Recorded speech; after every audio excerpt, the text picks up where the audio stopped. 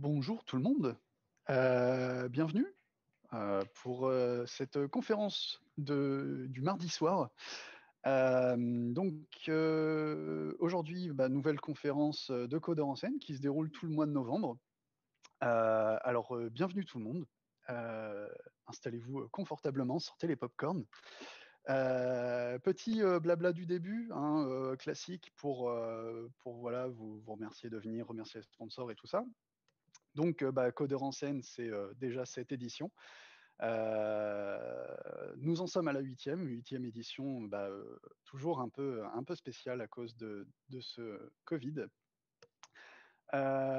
Donc, bah, merci de votre présence, parce que bah, sans, sans public, il n'y aurait, pas de- il y aurait pas de conférence.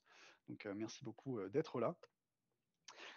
Merci aux sponsors et aux partenaires sans qui ce genre d'événement n'aurait pas lieu, euh, parce qu'il y a quelques frais évidemment engendrés même si on est en remote. Donc merci beaucoup à Altitude Infra, à Tineos, au Bear Studio, à Arnaud, à Digit, à Imagil, Invoque, à la métropole de Rouen-Normandie, à NWX, à Sagi et à WixiWeb. Euh, merci à vous aussi. On a déjà eu des dons. Euh, désolé Mathieu pour euh, la petite erreur sur le tweet. On t'a fait passer pour un radin alors que tu ne l'es pas, mais merci beaucoup pour, ton don de, geek avec les 42 centimes qui vont, avec et, ton, don. Donc vous pouvez faire des dons sur Helloasso. Euh, afin de, soutenir l'association, euh, ça a été mis en place parce qu'on a eu des demandes voilà, sur Twitter de, dons de particuliers en plus des, sponsorings euh, d'entreprises. Donc voilà, ça fait énormément plaisir d'avoir ce genre de demande. Ça montre en fait votre, votre engouement pour, pour soutenir l'association, donc ça fait extrêmement plaisir. Merci aux organisateurs sans qui cette édition n'aurait pas eu lieu. Euh, merci pour leur investissement, euh, leur, euh, leur temps, hein, parce que tout est fait sur le temps libre. On est tous, bénévoles, donc ça fait, plaisir. Donc merci à vous. Vous pouvez suivre l'assaut de Codeur en scène sur les réseaux sociaux. On a pas mal de réseaux sociaux sur lesquels on se trouve. Donc Twitter, qui est certainement le réseau où on est le plus actif. Donc vous pouvez nous suivre dessus. Euh, retrouvez les rediffusions sur YouTube. Euh, les rediffusions du mois de novembre seront disponibles seulement en décembre pour nous laisser le temps voilà, de, faire quelques petites euh, retouches sur les vidéos, etc. et tout bien préparé comme il faut. Donc il y aura les rediffusions. Et sinon, si vous vous posez la question, et si vos collègues plutôt se posent la question, vu que là on est en direct, ceux qui verront la vidéo plus tard ne sont pas là, si vos collègues se posent la question, les conférences sont en VOD sur Twitch pendant 15 jours. Donc voilà, vous, vous pouvez partager le, mot à vos, à collègues. Euh, les vidéos sont sur cette chaîne euh, pendant, euh, pendant 15 jours. Euh, on a un GitHub, voilà, si jamais vous voulez contribuer aussi de code enseigne, il y a quelques issues ouvertes, n'hésitez pas à vous balader dessus. Facebook, LinkedIn, bah, c'est de la communication sur nos événements. On a un Slack, n'hésitez pas à, nous, à, à le rejoindre. On a créé un channel Codeur 2020 qui permet eh de, discuter des conférences après, euh, après la conférence, en fait. Voilà, euh, on a plusieurs personnes qui postent des liens, euh, des compléments d'informations suite aux conférences. Donc c'est toujours cool. N'hésitez pas à poser vos questions aussi. Euh, on a un flux RSS pour les podcasts et pour les podcasts, on a aussi Spotify et iTunes. Voilà. Euh, donc, euh, bah pareil, on est bénévole, donc le rythme de publication est, est euh, fait en fonction de notre disponibilité. Euh, voilà. Pour les questions pendant euh, la conférence, n'hésitez pas à les écrire dans le chat. On les référence dans un document et je les poserai ensuite à Xavier. Euh, le programme, eh ben, euh, la première semaine est passée, donc avec Emmanuel et Emad qui ont fait l'ouverture la semaine dernière. Cette semaine, on retrouve Xavier ce soir et Fabrice jeudi pour une revue de code. Le programme est sur le site, vous pouvez le voir ici, euh, vous avez toutes les infos sur le site. Euh, vous pouvez euh, vous inscrire sur Meetup pour nous donner une idée du taux de fréquentation des conférences, voir ce qui plaît à la communauté, voilà, tout ça. Donc ça nous sert à, faire quelques stats. Donc n'hésitez pas à vous inscrire. C'est pas obligatoire, mais ça nous aide, nous, à prévoir les choses. Donc voilà, c'est dit ici. Euh, suivez-nous sur Twitch, n'hésitez pas à activer euh, les notifications, histoire euh, si vous avez loupé en fait une info, une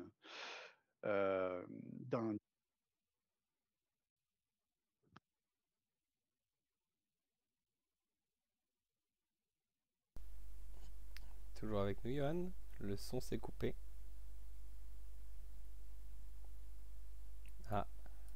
Petit souci. Est-ce que tu m'entends Ah, là c'est revenu. C'est bon, ok. Désolé, je ne sais pas pourquoi le casque a décidé de, de se couper. euh. Tiens, Ah, mais oui, il a dû se mettre en veille parce que j'avais pas de son. C'est pour Ça ça. marche. Pas de souci. Et le petit, il y a une petite question. On peut faire un petit rappel du concept de l'association en deux mots, histoire que comme ça on réponde à la question tout de suite de Bah, Jérôme. le- Tronca. Le concept de l'association, bah, c'est euh, de partager, tout simplement, euh, entre développeurs, euh, pour les développeurs. On fait aussi pas mal de conférences sur tout ce qui va être méthodologie, donc plutôt orienté management, méthodo. On va avoir vraiment tout ce qui tourne autour du développement. Euh, du web, de l'agilité, euh, du Java, du PHP, n'importe quel langage, n'importe quel le paradigme de programmation comme on va le voir ce soir. Euh, voilà. Je ne sais pas si on peut faire plus. euh, Je pense que c'est bon. euh, mais voilà. Codeur en scène, une asso pour, euh, bah, pour les codeurs, quoi. Pour, euh, pour le monde de, de la technique. Du coup, avant que mon casque se coupe, je disais que voilà, vous pouvez nous suivre sur Twitch, activer les notifications au cas où vous avez loupé les infos sur les réseaux sociaux. Merci à vous encore, parce que sans vous, il n'y aurait pas ce genre d'événement. Donc, merci de votre présence. Je vois qu'on est 85, ce qui fait extrêmement plaisir. Euh, et voilà, profitez bien de la conférence. Et on retrouve tout de suite Xavier pour nous parler de la programmation fonctionnelle et principes de réalité et gérer les effets.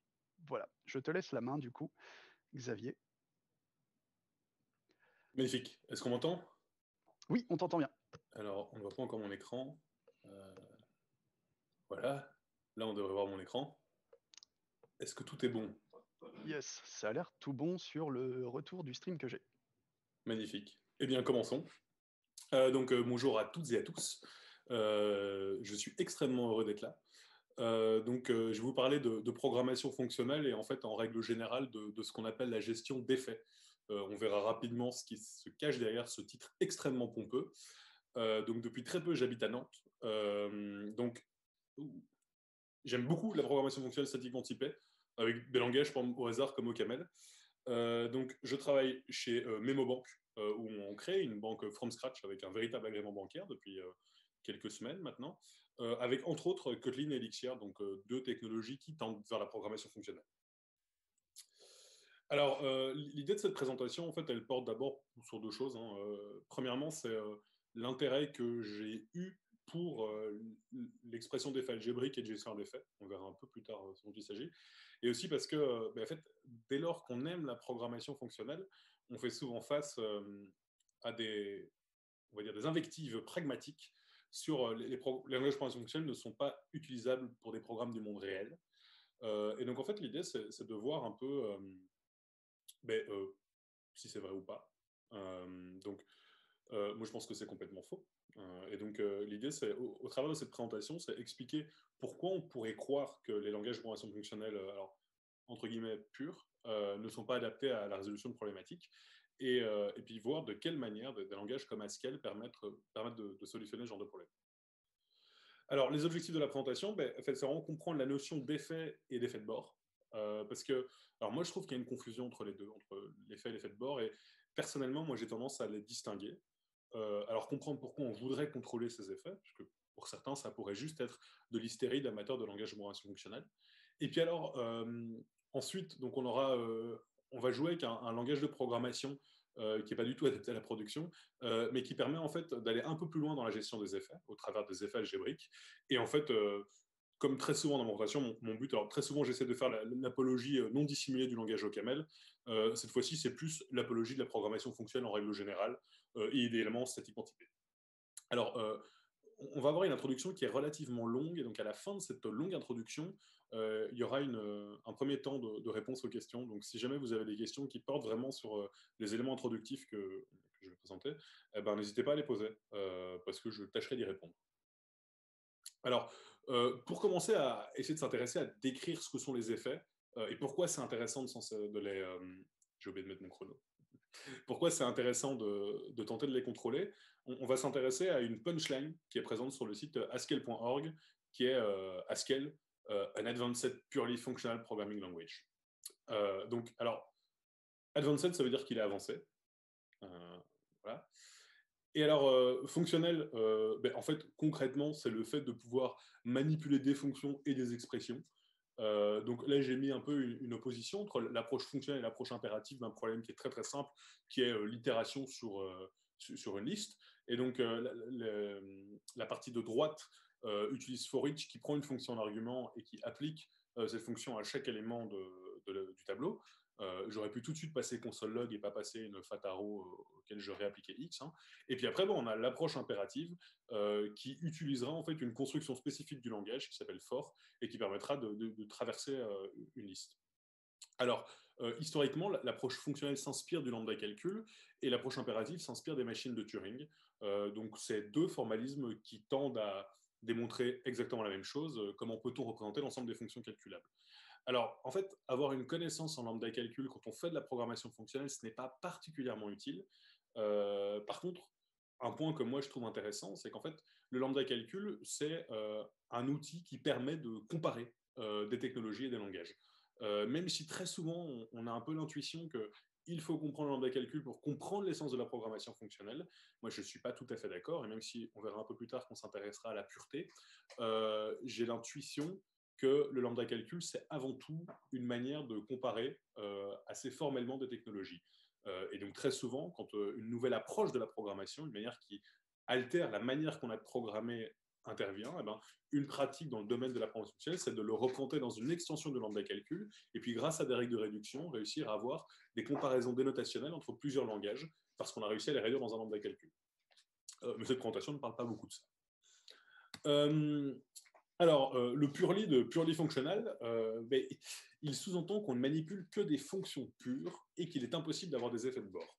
Et donc là, on a un peu les, deux, euh, les deux, briques qu'on va essayer de, on va dire de, sur lesquelles on va s'étendre au cours de cette présentation. Donc, c'est la notion de fonction pure et d'effet de bord. Alors, en fait, l'opposition entre les fonctions pures et les fonctions impures, elles sont extrêmement simples. Euh, donc une fonction, c'est une fonction qui, une fonction pure, c'est une fonction qui est totale, donc qui pour l'intégralité des, euh, arguments, elle aura toujours un résultat. Euh, c'est une fonction qui est déterministe, donc peu importe les appels, elle renverra toujours le même résultat. Et alors sans effet, on définira un peu après ce que sont les, ce que sont les effets, mais donc c'est-à-dire qu'elle est uniquement capable de calculer des choses sans dépendance. Et alors les fonctions impures, ben, c'est toutes les fonctions qui ne sont pas pures.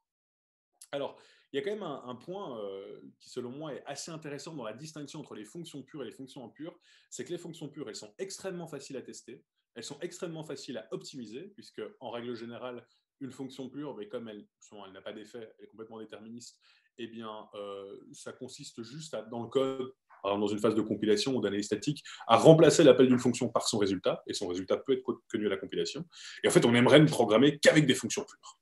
Euh, les fonctions impures, elles sont relativement difficiles à tester.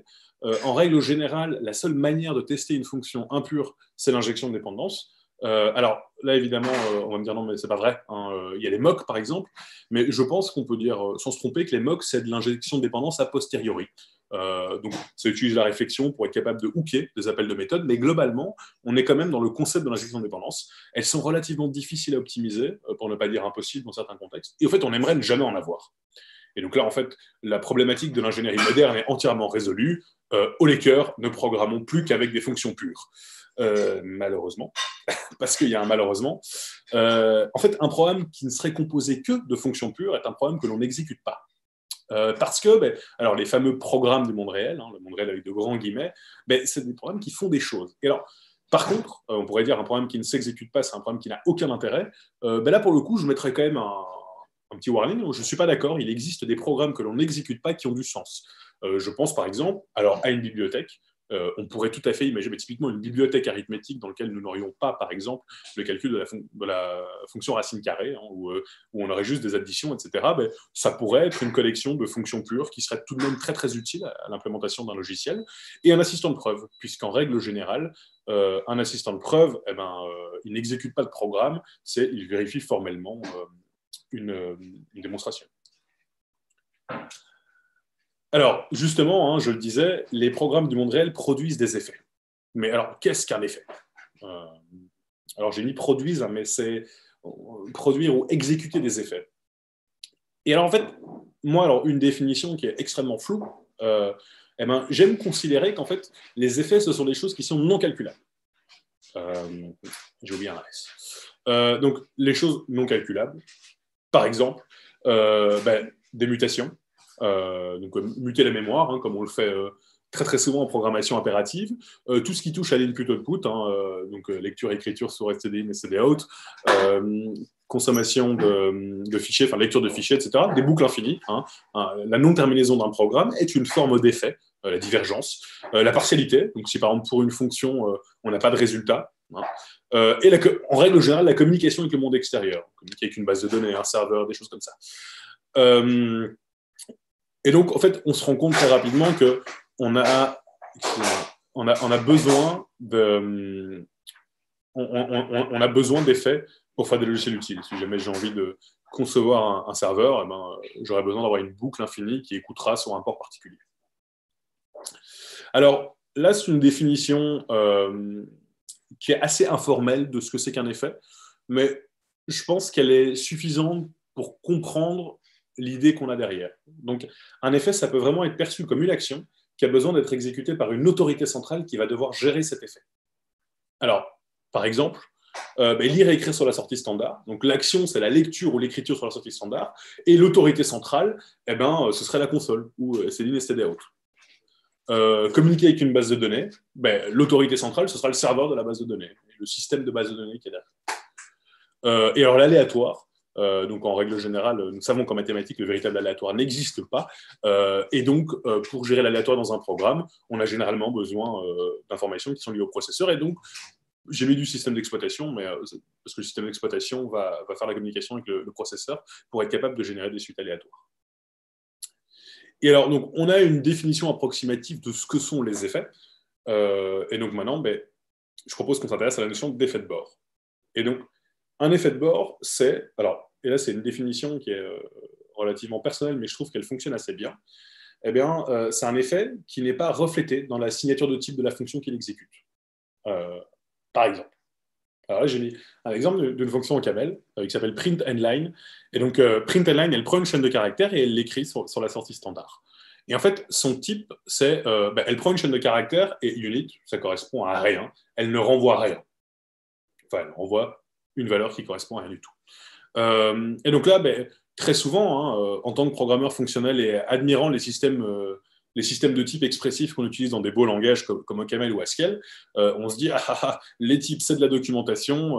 si jamais j'ai une signature de type, je sais exactement ce que fait la fonction. Mais en fait, on se rend compte que quand la fonction exécute des effets, ben, la signature de type, dans un langage semi-mainstream, ne nous aide pas particulièrement.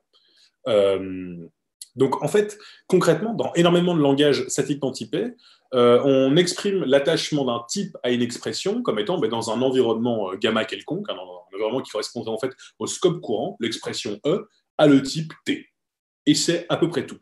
Et en fait, nous, ce qu'on voudrait, enfin, en tout cas, euh, toute personne qui veut gérer explicitement ces effets, et j'espère qu'à la fin de cette présentation, eh bien, vous serez, comme moi, tous convaincus que c'est très bien, eh bien, en fait, ce qu'on voudrait, c'est altérer un petit peu euh, donc, euh, cette phrase en disant ben, dans un environnement quelconque, on voudrait que l'expression E ait le type T et produit les effets epsilon.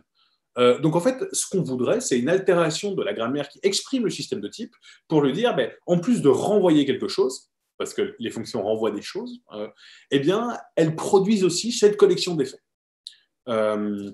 et donc concrètement, ce que cela donnerait, c'est notre fonction print endline, eh ben, en fait, elle s'écrirait de cette manière-ci, donc en disant, ben, en fait, c'est une fonction qui prend une chaîne de caractères et qui ne renvoie rien, et qui exécute un effet console. Euh, et l'effet console, ce serait par exemple l'écriture sur la sortie standard. Alors là, j'ai mis un autre nom de fonction extrêmement précis qui s'appelle readdb donc on peut supposer grâce à son nom qu'elle va lire quelque chose en base de données et l'afficher sur la sortie standard. Et là, ben, ce que l'on voit, c'est que ben, en plus, on a une fonction qui prend, enfin, qui prend unit et qui renvoie unit, et qu'elle exécute les effets console et db qui correspondent à database.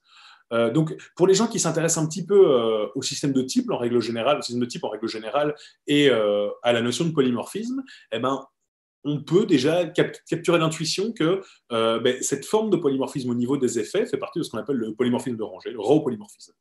Euh, et donc, c'est vraiment ce que l'on aimerait avoir dans euh, l'intégralité des langages de programmation qui peuvent euh, faire des effets. Donc, éradiquer complètement la notion d'effet de bord pour n'avoir plus que de la gestion explicite d'effets. Mais alors, là, on, peut se poser une autre question qui est ben, pourquoi?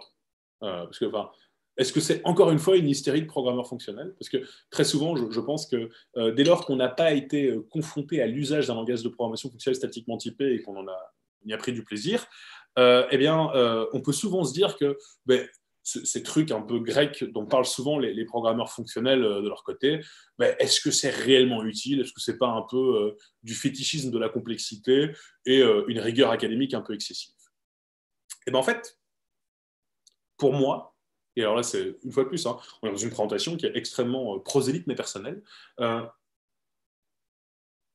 je considère que en fait la gestion explicite des effets euh, eh bien, elle est intéressante pour exactement, exactement les mêmes raisons que euh, on a envie de typer statiquement nos programmes. Je pense que, alors là, je, parle un peu des aléas des réseaux sociaux, mais euh, quand, on va dire, au début des années 2000, entre, entre 2006 et 2010, on a vraiment une sorte de, montée en puissance euh, des, langages de programmation dynamiquement typés, même si JavaScript était déjà utilisé de manière invasive, PHP était déjà très populaire, mais il y, a des langages qui euh, n'ont pas subi le typage dynamique, euh, mais qui en ont fait une force. Je pense à des langages comme Python, qui est très ancien, mais avec Django est vraiment revenu sur le devant de la scène de la programmation web, et Ruby, qui est un langage qui tire en partie de la métaprogrammation en runtime, avec des méthodes qui sont tout de même beaucoup plus agréables à observer que, la réflexion de Java. et ben, il y a une sorte de contre-courant qui disait, ben, en fait, concrètement, euh, typer statiquement ces programmes, c'est très très mignon, mais il suffit d'avoir de la discipline pour ne pas devoir typer les programmes, ce qui n'est pas faux, hein, parce que euh, dès lors qu'on s'amuse à écrire euh, un ensemble de tests unitaires qui, réussissent, qui à couvrir 100% du périmètre fonctionnel d'une application et puis de la communication avec le monde extérieur, eh ben, effectivement, on a une très très grosse garantie que, que le programme ne plantera pas. Euh, enfin, en tout cas que le programme n'aura pas de régression euh, dès lors qu'on décidera de rajouter de nouvelles fonctionnalités. Euh, et puis en fait, la tendance a un petit peu changé quand on a vu des, langages relativement mainstream se doter de compilateurs ad hoc qui permettaient de rajouter du typage statique, à tel point que maintenant, le fer de lance des langages de programmation dynamiquement typés, en l'occurrence Ruby, décide au travers de, projets par Stripe notamment d'intégrer un système de vérification statique des types. et donc, concrètement, qu'est-ce que ça veut dire? La même chose que le typage statique dans un programme? Eh bien, donc, l'optimisation, la documentation et des programmes qui sont corrects by design. Alors, la documentation, en fait, elle est très très étroitement liée à l'optimisation parce qu'en fait, concrètement, de la documentation pour le compilateur, c'est une forme d'optimisation. Alors, euh, donc la documentation, hein, très souvent, on explique que list.map, euh, ben, par exemple, elle parle d'elle-même, son type est extrêmement clair. Elle prend euh, une variable de type A, enfin une fonction qui, pour tout A, renverra un B, euh, puis après, elle prend une liste de A et elle renvoie une liste de B. Et donc là, on a quand même une intuition sur, euh, sur ce que fait la fonction qui est assez évidente. Hein. On va appliquer une fonction sur chaque, sur chaque élément de la liste et on va renvoyer cette nouvelle liste. et puis là, on a une autre fonction qui s'appelle uncountries, et donc qui prend une liste de pays et qui ne renvoie rien. Et donc là, bah, on peut se dire, que fait cette fonction? Alors, ça pourrait être quelque chose de, pas particulièrement dramatique. Hein. On pourrait considérer qu'en fait, on va mapper sur l'ensemble des countries, hein, des, pays, et puis lancer une requête sur ces pays. Hein.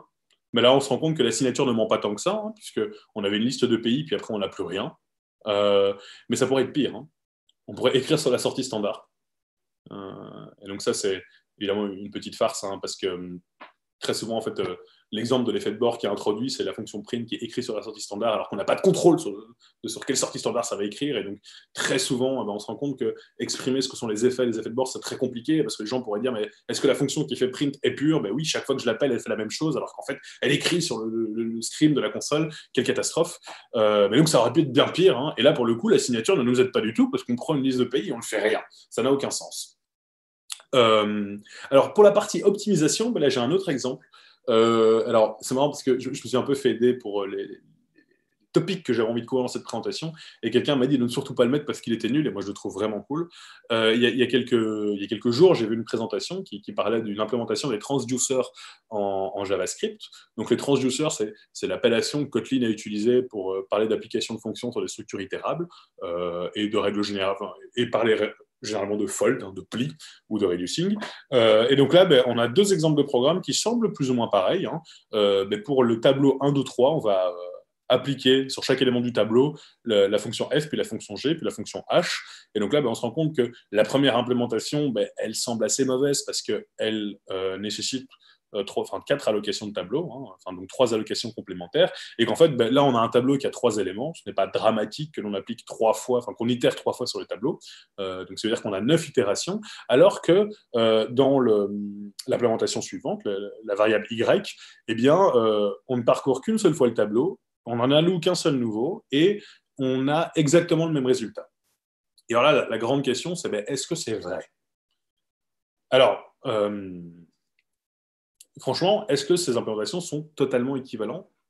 Ben, En fait, ça dépend.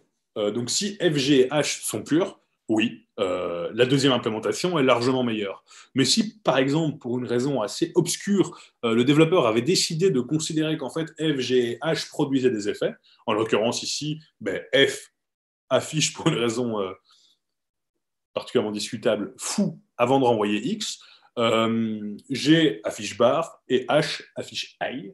Et ben là, on se rend compte qu'en fait, ben, même si la forme normale du programme, le résultat du mapping est identique, eh bien, euh, l'ordonnancement des effets ne sera pas pareil. Euh, dans la première version, eh ben, on aura d'abord fou, fou, fou, et puis ensuite bar, bar, bar, et puis I, I, I.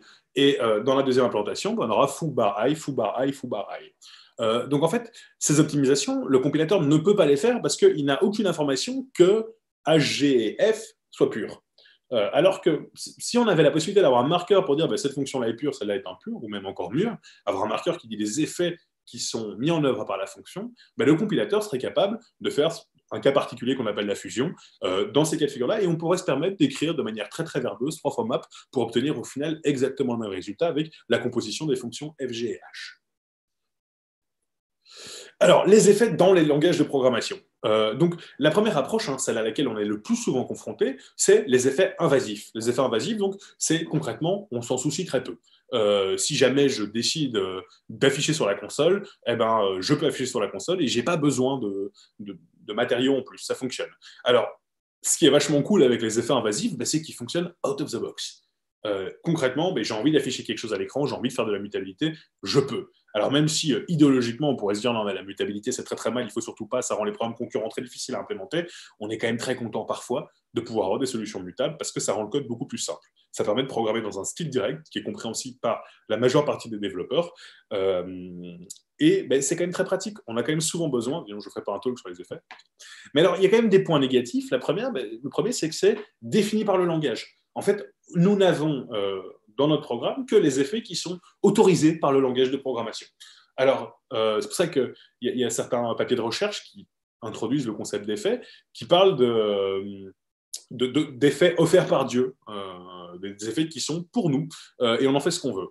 alors, en fait, ça a quand même d'autres problèmes que le fait que l'ensemble des effets soit limité, parce qu'on se rendra compte très très rapidement qu'un ensemble restreint d'effets peut suffire à représenter, on va dire, une grande partie des programmes nécessaires. Et puis très souvent, on rajoute des mécanismes comme les euh, Foreign Function Interface qui permettent de s'interfacer avec d'autres langages et qui permettraient d'exécuter des effets qui sont par exemple pas supportés par le langage. Mais à côté de ça, on a les interactions entre les effets qui sont entièrement fixées. Euh, on n'a pas vraiment de décision sur l'ordre d'exécution des effets et sur la manière dont ils vont interagir entre eux.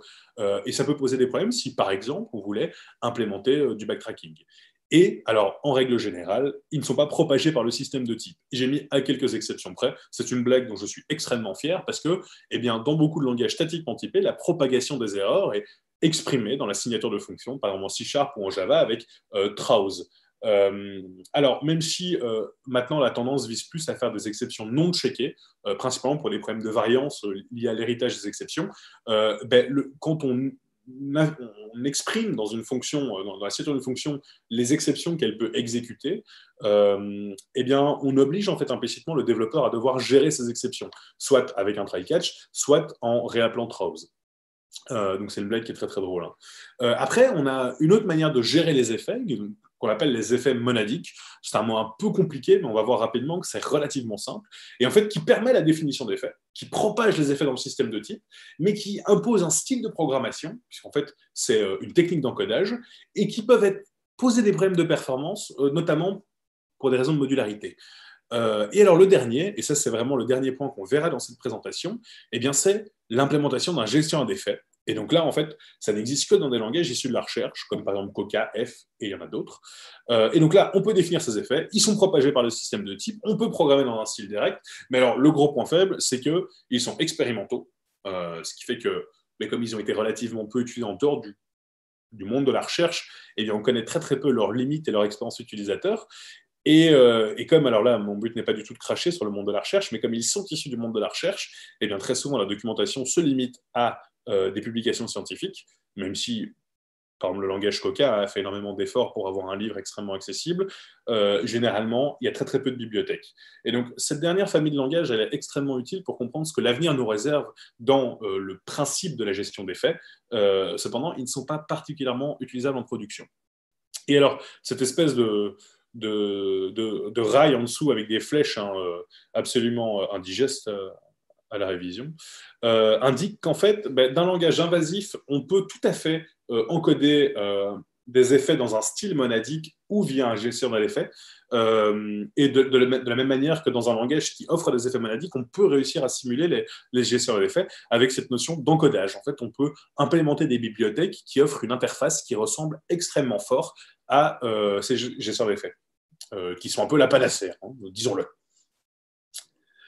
Alors, on revient sur le cas Haskell, hein, parce que si vous vous rappelez, Haskell, on a dit que c'était trop cool parce que c'est purement fonctionnel, donc pas d'effet de bord euh, et que des fonctions pures. Mais alors, comment peut-on faire des, langages du monde réel avec un langage qui ne permet pas de faire ce qui est nécessaire, euh, soit des fonctions impures? Et donc là, j'ai un exemple d'un Hello World dans Haskell, et, euh, et, en fait, on se rend compte que donc, en soi, le Hello World est écrit de manière assez naïve, hein, euh, LN, donc euh, affiche une chaîne et fait un retour à la ligne avec Hello World. Mais en fait, ce qui est intéressant, c'est de voir le type de la fonction euh, main. En fait, le type de la fonction main est le type IO unit. Alors, qu'est-ce que ça veut dire? En fait, IO unit, hein, le parenthèse ouvrante, parenthèse fermante, le tuple vide en fait correspond à, unit, hein, et eh ben, c'est exactement l'équivalent de, ce que j'ai montré dans la signature de type fantasmée que je voudrais avoir, avec un langage qui gère les effets. Donc la fonction ne renvoie rien, elle renvoie unit, et elle exécute l'effet IO. Alors, on va voir ce que c'est que cet effet IO. Euh, concrètement, en Haskell, on a la possibilité de marquer une fonction comme exécutant un effet. Euh, et donc, en fait, ben, une fonction qui performe un effet, qui exécute un effet, eh ben, elle a le type IO-T. Donc euh, le T, ici en l'occurrence dans main, c'est unit, mais ça pourrait être une chaîne de caractères, par exemple pour la fonction getLine. Et alors, une expression de type IO-T ne sera, pas, ne sera exécutée que par le runtime Haskell. Alors en fait, c'est un peu l'essence de cette présentation, et j'espère que c'est le fragment d'information que, pour les personnes qui ne sont pas familières avec la gestion des faits, euh, ben, vous, vous, garderez, c'est qu'en fait, en Haskell, on décrit des programmes qui seront interprétés par le runtime de Haskell. Donc, en Haskell, en fait, on ne produit pas à proprement parler un programme. On produit la description d'un programme qui sera interprété par le runtime de Haskell. Alors, en fait, comme j'ai dit, hein, IO dénote la présence d'un effet, et donc l'exécution par ce runtime, mais c'est un runtime qui est testé et éprouvé. Et donc, en général, je pense que euh, dès qu'on commence à, s'intéresser un petit peu à Haskell, on est d'abord euh, fasciné par la beauté du langage qui est quand même syntaxiquement magnifique. Euh, et puis après, on est désespéré par la paresse du langage par défaut. C'est une blague. et en fait, après, ben, on, fait quand même face à beaucoup de problématiques théoriques sur Haskell, qui est un langage qui a un coût d'entrée relativement compliqué si on n'est pas, aidé. Et en fait, ben, il y a tout un jargon relatif à la construction des faits, etc. Et donc, je pense qu'une manière de démystifier un peu mais comment est-ce qu'elle fait pour être pure? C'est de se dire qu'en fait, on ne crée pas de programme, on crée une description de programme et tous les effets seront exécutés par le runtime. Alors, quand on dit ça, bah là, pour le coup, on est quand même un peu déçu parce qu'on se dit, bah, en fait, c'est vraiment cacher la, poussière euh, sous le tapis. Euh, alors, oui, mais c'est exactement ce qu'on veut. En fait, de la même manière que quand on construit un programme dans n'importe quel langage, on repose sur des briques qui sont éprouvées et testées, et eh bien ici, le runtime Haskell, il est éprouvé et testé. Euh, donc, en fait, ça mime plutôt globalement euh, ben, en fait, l'essence de ce qu'on voudrait avoir, un contrôle des effets qui est sûr et garanti par l'usage. Alors, ok, on a IO, euh, mais alors, IO, hein, on peut supposer que IO, ça veut dire input output, hein, mais sauf qu'on a vu tout à l'heure qu'on avait quand même beaucoup d'effets, hein, l'aléatoire, la partialité, les erreurs, etc. et c'est là, en fait, où, selon moi, provient une des plus grandes un des plus grands points de friction qu'on pourrait avoir dans l'apprentissage de Haskell. En fait, l'astuce qu'utilise Haskell et qu'utilisent beaucoup d'autres langages de programmation fonctionnelle, eh bien, c'est de considérer qu'on va transformer les effets en valeurs. Alors, euh, il y, a beaucoup d'effets qui sont relativement triviaux. par exemple, la partialité. donc, la partialité, ben, c'est si pour une fonction, je n'ai pas l'intégralité des résultats possibles pour toute entrée. Par exemple, si je demande la tête d'une liste, ben, donc le, premier élément d'une liste, ben, en fait, dans toutes les listes qui ont un ou plus d'entrées, ben, je peux avoir un résultat. Par contre, si jamais j'ai une liste vide, ben là, je n'ai pas de résultat. Et comme la taille de ma liste n'est pas indexée dans mon type liste, je ne peux, pas facilement euh, euh, le forcer en aval. Euh, et donc, pour ça, une astuce pour représenter la partialité, c'est de définir un type qui s'appelle maybe, dans d'autres langages, il s'appelle option, pour dire, en fait, soit j'ai quelque chose, donc data maybe A, ça veut dire je décris un type qui a un paramètre de type A, et donc soit j'ai une valeur, soit j'en ai pas. Euh, et alors, pareil pour un calcul échouable, euh, même si Haskell a un mécanisme d'exception, en règle générale, on, évite de s'en servir, euh, sauf pour des raisons que les programmes Haskell vous défendront. et donc, Either, ben, c'est juste, on exprime la disjonction. Donc, une valeur peut soit avoir le type A, soit le type B, mais dans notre type, on sait qu'elle sera soit de type A, soit de type B. Et donc, left euh, ben, correspond à une valeur de type A et right correspond à une valeur de type B. Donc là, c'est ce qu'on appelle des types sum ou des unions discriminées parce qu'en fait, au travers des constructeurs, eh bien, on peut unifier des valeurs, en l'occurrence, des valeurs de A ou de A et de B, euh, dans un type. Donc, right de 45 sera de type either euh, A int, une valeur left, la chaîne de caractères fou sera de type either string B. Et donc, en fait, euh, concrètement, il existe énormément d'encodage pour encoder plein, plein, plein d'effets différents. Euh, des effets, typiquement la mutabilité, la notion d'écriture dans un journal comme les logs, etc. Euh, et en fait, IO étant l'effet le plus primitif, donc c'est celui qu'on va confiner aux extrémités du programme qui sera interprété par le runtime. Et donc le jeu du programmeur Haskell est, une fois qu'on se retrouve à l'extrémité de ce programme, typiquement la fonction main, eh ben, c'est de fournir une transformation pour transformer, ben, par exemple, typiquement un maybe A en IO unit. Euh, par exemple, ici j'ai un, programme assez naïf hein, qui exécute la fonction available function et grâce à de la déconstruction, ben, je dis ben, si j'ai left dans lequel je présuppose que left contenait mon erreur, eh ben, je fais un print string euh, de une erreur. Euh, plus error, donc j'affiche l'erreur qui, est survenue. Et si jamais je suis dans le right, donc le cas de succès, eh ben, j'affiche que tout est plus ou moins bon. Euh, donc là, en fait, on se rend compte vraiment qu'on a deux niveaux d'effets. On a les effets qui sont définis par l'utilisateur et qui, en fait, sont implémentés de manière un peu arbitraire. on décide un peu de ce que va représenter cet effet. Donc, dans le cas de la partialité et des erreurs, ben, l'implémentation est assez triviale et on la découvre assez facilement. Dans le cas d'effets un peu plus ben, communs quand on fait la programmation euh, impérative, mais un peu plus abstrait euh, quand on fait la programmation fonctionnelle, typiquement la mutabilité, eh bien, on peut utiliser, par exemple, une construction qui s'appelle state.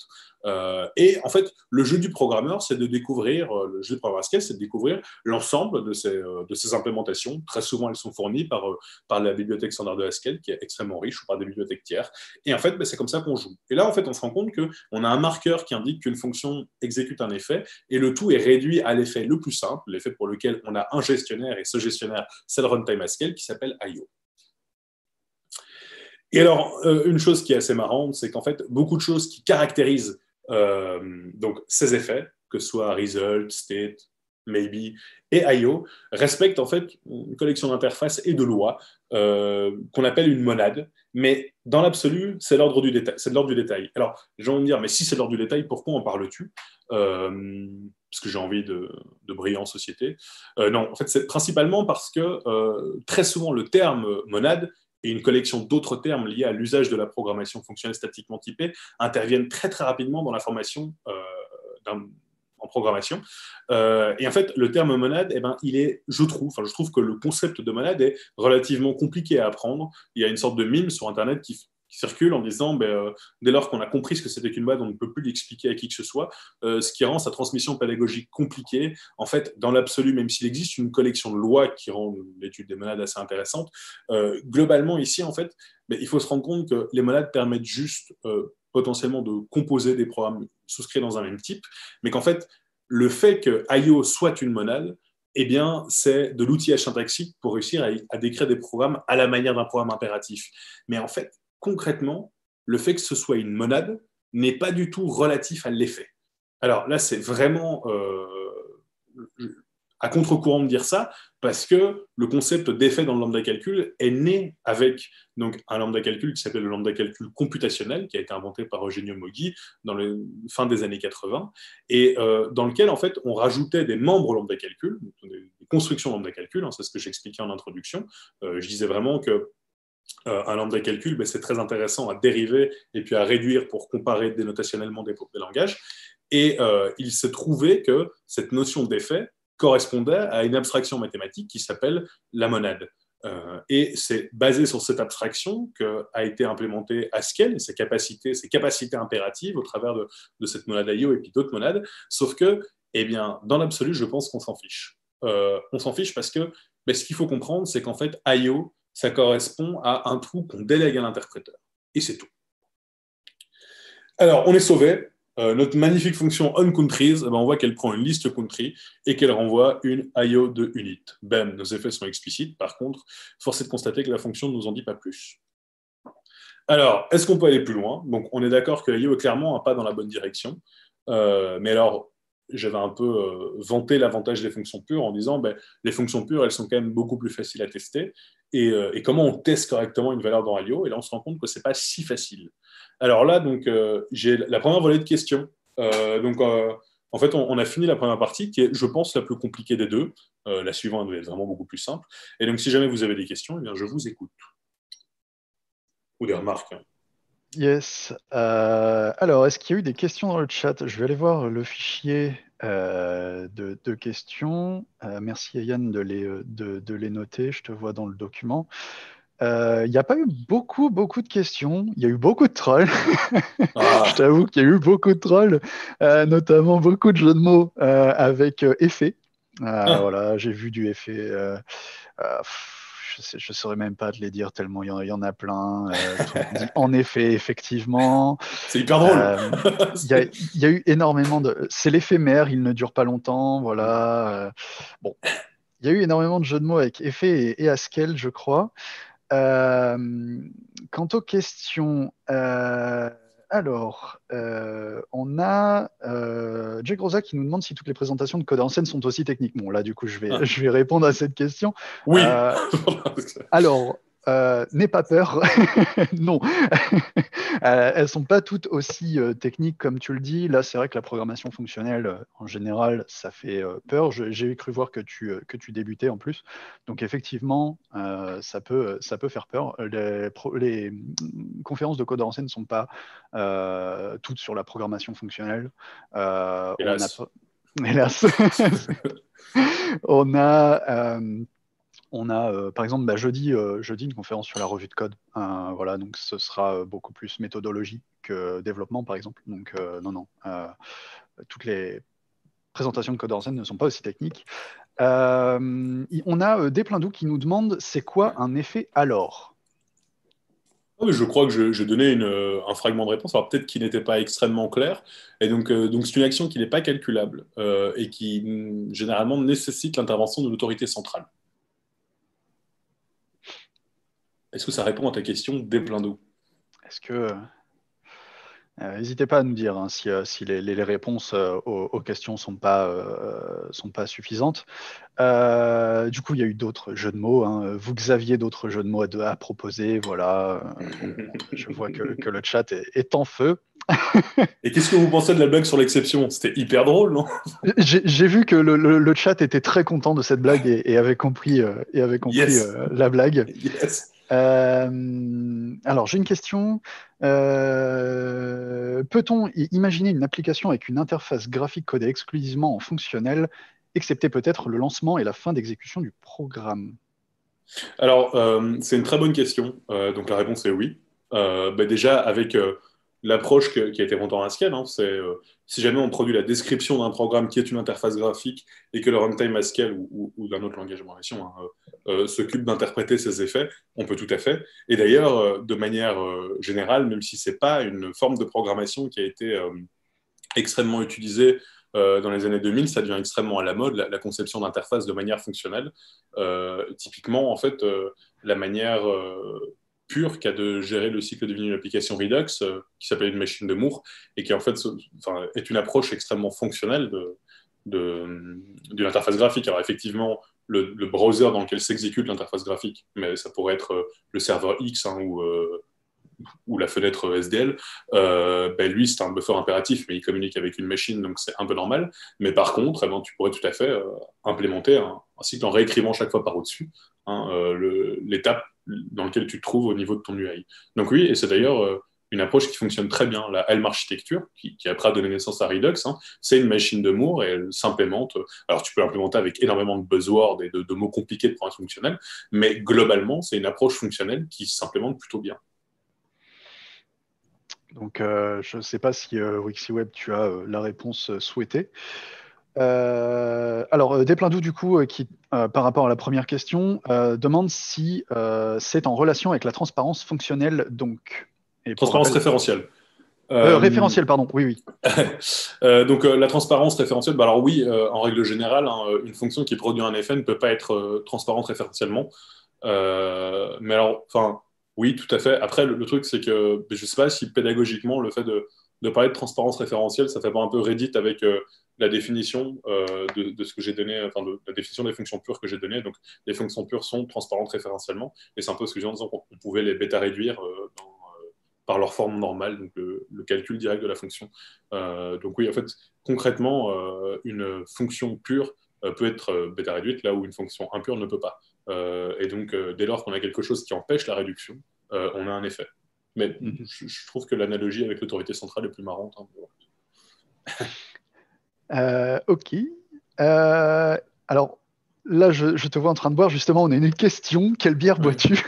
Alors, j'ai bu une Fischer.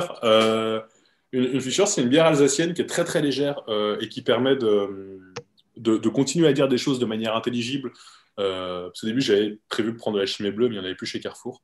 Euh, et puis après, là, je suis en train de boire une euh, trappe quadruple qui, il me semble qu'ils prétendent qu'ils sont trappistes, mais qu'ils n'ont pas le label trappiste parce qu'ils ne donnent pas 90% de leurs revenus, mais qui est quand même très bonne, une bière belge, achetée du belge. Et ensuite, je boirai une Lagunistas IPA, donc une bière un peu plus légère, mais très bonne. Après, je boirai de l'eau à mon avis. de très bon choix. Donc, Creed, tu as la réponse à ta question. Merci beaucoup. Est-ce qu'on a d'autres questions? Euh, Est-ce qu'il existe des projets entièrement en Haskell utilisés professionnellement? Oui, énormément. Euh, alors, en fait, il faut savoir que Haskell, J'avais vu une super chouette présentation euh, à Scala.io qui, qui, disait en fait votre mission mettre du Haskell en prod. Et en fait, la présentation était, assez cool parce que c'était une développeuse qui avait, réussi à, construire euh, l'intégralité de sa stack en Haskell. Euh, parce qu'en fait, une particularité de Haskell, donc même si le langage a un coût d'entrée un peu compliqué, euh, le langage dispose d'une collection de bibliothèques extrêmement bien faites et qui couvre une très très grande partie des problématiques pour lesquelles la bibliothèque a été conçue. après, donc évidemment, comme beaucoup de technologies fonctionnelles, Haskell a une très très belle euh, vit dans la, programmation qui est relative au système financier et alors plus récemment aux crypto-monnaies et aux blockchains. Euh, mais alors on trouve quand même euh, des, boîtes qui se servent de Haskell pour faire de, la programmation plus traditionnelle comme client-serveur. donc c'est le cas de Decathlon qui avait plusieurs projets en Haskell et c'est le cas de Fretlink qui est une boîte qui s'occupe de la logistique des transports qui, qui, écrit une grande partie de son code back en Haskell, pour ne pas dire tout son code back en Haskell. et puis alors moi je me sers très très souvent d'un outil qui s'appelle Pandoc qui fait de la, qui fait de la conversion de documents de n'importe quel format vers n'importe quel format, euh, qui est écrit en Haskell. Euh, et donc oui, on, trouve, euh, il y a, beaucoup, de logiciels, beaucoup moins que Java, Kotlin ou C++, mais on, trouve quand même des, logiciels qui sont écrits complètement en Haskell et, qui, dont, les créateurs sont plutôt satisfaits d'ailleurs d'avoir choisi Haskell. En tout cas, c'est un avis qui est un peu personnel, mais je le pense sincèrement vous allez me dire, c'est un avis personnel, mais euh, je pense que dès, lors qu'on s'intéresse à un langage de programmation fonctionnelle statiquement typé expressif, comme c'est le cas en Haskell ou, ou en, OCaml, même si OCaml est un peu plus proche de la programmation impérative, puisque c'est un, langage multiparadigme, euh, eh c'est très très dur d'y revenir. Parce que, et d'ailleurs, la tendance des langages, on a des très beaux langages mainstream qui, sont arrivés, comme par exemple Kotlin euh, ou TypeScript, euh, et en fait, c'est des langages qui convergent vers cette manière de programmer, donc des langages qui sont expressifs, qui manipulent des expressions et qui ont un système de type riche, euh, et des bibliothèques extraordinaires qui sortent dans cette technologie pour coder de manière très... Enfin, FPTS pour TypeScript, Arrow pour, euh, pour Kotlin. en fait, c'est des langages qui tendent vers cette approche de langage de programmation fonctionnelle, donc, même si faire du camel ou du Haskell garantit pas un emploi dès qu'on sort d'école ou, dès qu'on a envie de changer, en tout cas, ça donne des outils pour comprendre l'évolution des langages. Mhm. Parfait, merci. Magnifique. Bah, je vais pouvoir continuer. Euh, juste pour, pour la question sur, euh, sur les talks techniques, je suis vraiment désolé euh, si jamais. Enfin, parfois j'ai tendance un peu à m'écouter parler, ce qui fait que je, m'emporte un peu dans des trucs qui m'intéressent. mais là, on arrive à la partie qui est, selon moi, plus compréhensible, hein, puisque c'est la bonne manière de gérer les effets dans un monde idéal. quoi qu'il en soit, je suis disponible sur Twitter et je m'inscrirai sur le Slack Codeur en scène si jamais il y a besoin de précision ou de remarques par rapport à ce que j'aurais pu dire. Euh, et donc voilà. Et donc j'espère que la suite sera plus accessible. Euh, magnifique. Euh, juste, je, remercie deux, personnes dans le chat qui partagent des liens. Donc il y a Igor Plop qui nous partage la conférence dont tu parlais en Esquel, donc de Céline Louvet. donc là, c'est un lien vers le DevFest Toulouse. et je remercie Youn aussi qui partage une vidéo YouTube sur l'introduction à la programmation fonctionnelle. Voilà. Donc ça fait, ça fait euh, deux, petites ressources. Et euh, bah, merci à toi du coup euh, de, te rendre disponible via ton Twitter ou même ton inscription sur le Slack Code en scène pour, pour répondre aux questions. je te laisse continuer. Il y a quelques questions. Vous inquiétez pas, je les note et je les poserai juste après à Xavier une fois qu'il aura terminé sa. Merci beaucoup. La deuxième partie. Il y a encore plein de fautes d'orthographe dans cette slide, excusez-moi. et donc, donc voilà, maintenant on va passer à la partie qui est vraiment, selon moi, intéressante, parce que là, on a vu que ce qui existait dans l'existant, en l'occurrence, comment Haskell gérait ces, effets.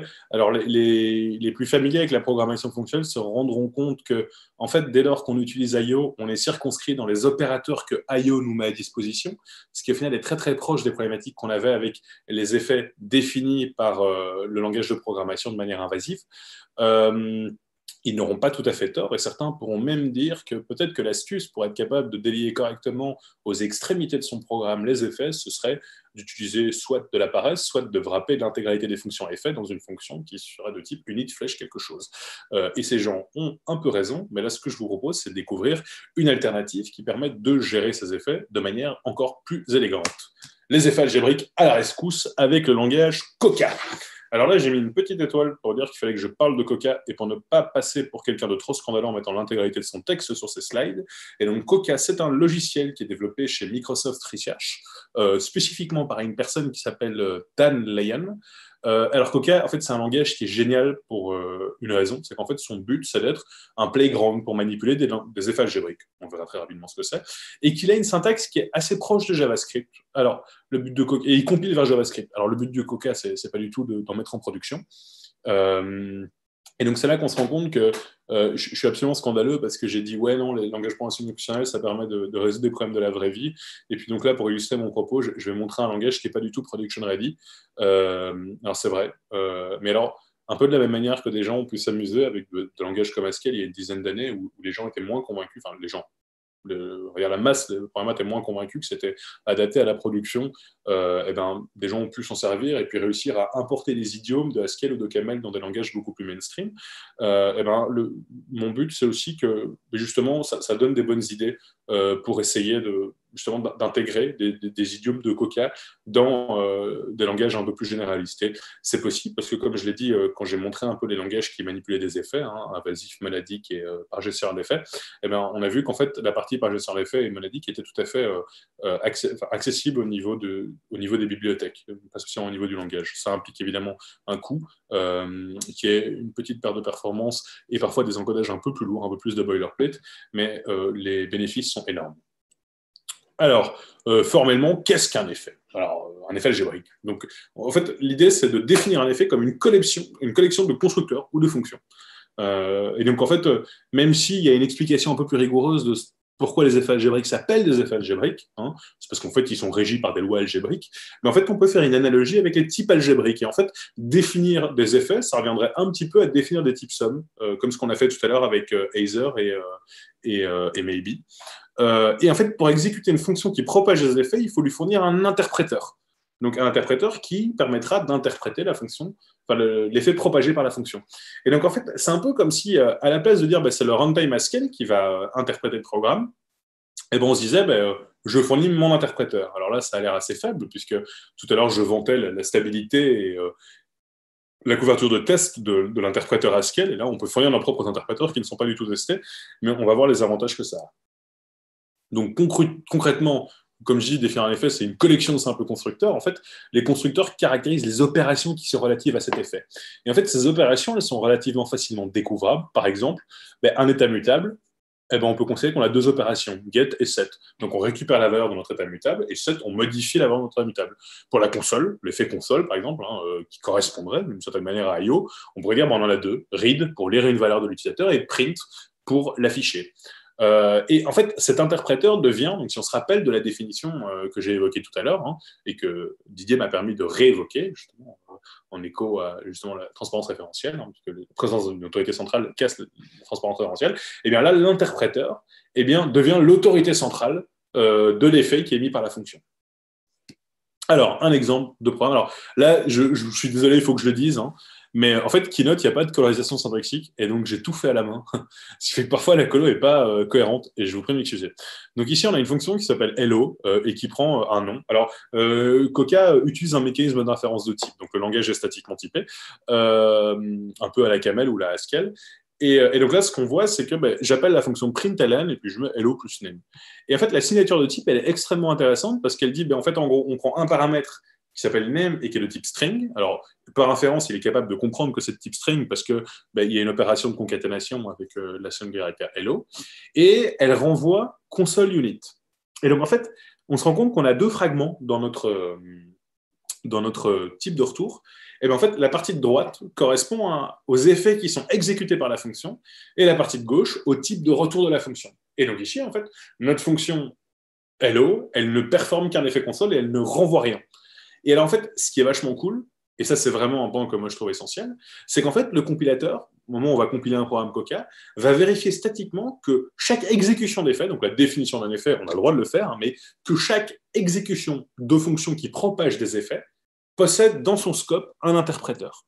Donc là, par exemple, si jamais j'essaie d'exécuter cette fonction, la bibliothèque standard de Coca fournit un interpréteur pour, euh, pour println, un interpréteur euh, qui peut être substitué euh, à la demande, hein, mais il faut un interpréteur qui affiche basiquement sur la sortie standard. Et donc, en fait, si j'exécute ce programme, ça fonctionnera. Par contre, ici, donc j'ai défini un nouvel effet. Donc là, on voit comment on définit un effet. Et donc, on se rend compte que c'est extrêmement proche des types SUM qu'on a vu dans d'autres langages de programmation. On définit donc avec la construction effect, nom de l'effet, entre parenthèses, opération de l'effet. Entre accolades, opération de l'effet. Donc ici, on définit un effet qui s'appelle mumble et qui n'a qu'une seule opération, qui s'appelle grumble. Euh, et donc qui euh, prend en argument euh, un message qui est de type string.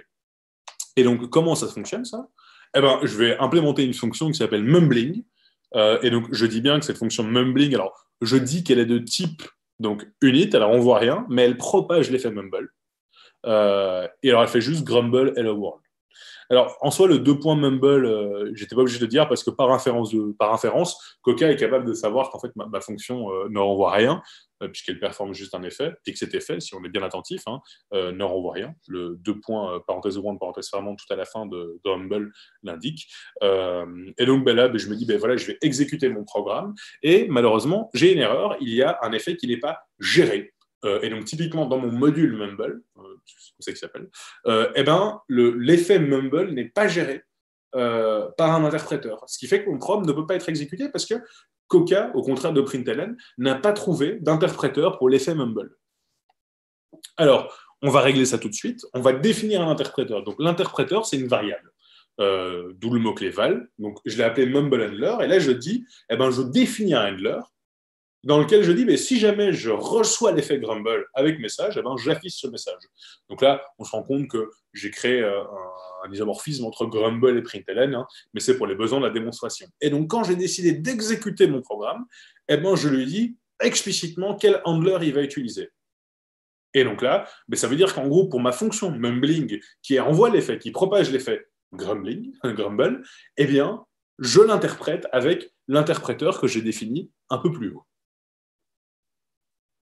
Et donc là, le programme compilera parce que ben, mon, effet, enfin, mon opération Grumble dans mon effet Mumble euh, a été réduit, donc via mon gestionnaire d'effet, Mumble Handler, euh, dans l'effet console qui, lui, possède un interpréteur.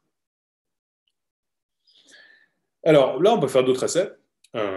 Et donc, typiquement, ben, dans ma fonction mumbling, donc c'est exactement le même code que tout à l'heure, sauf que dans ma fonction mumbling, eh bien, j'exécute deux fois grumble, hello world, goodbye world. Et donc là, on pourrait se dire, bon, ben, en fait, c'est très simple. Ce qui va se passer, c'est que ben, mon programme va d'abord afficher hello world et puis goodbye world. Et malheureusement, ça n'affiche que hello world. Et donc là, on pourrait se dire, ben, en fait, c'est exactement pareil que les exceptions.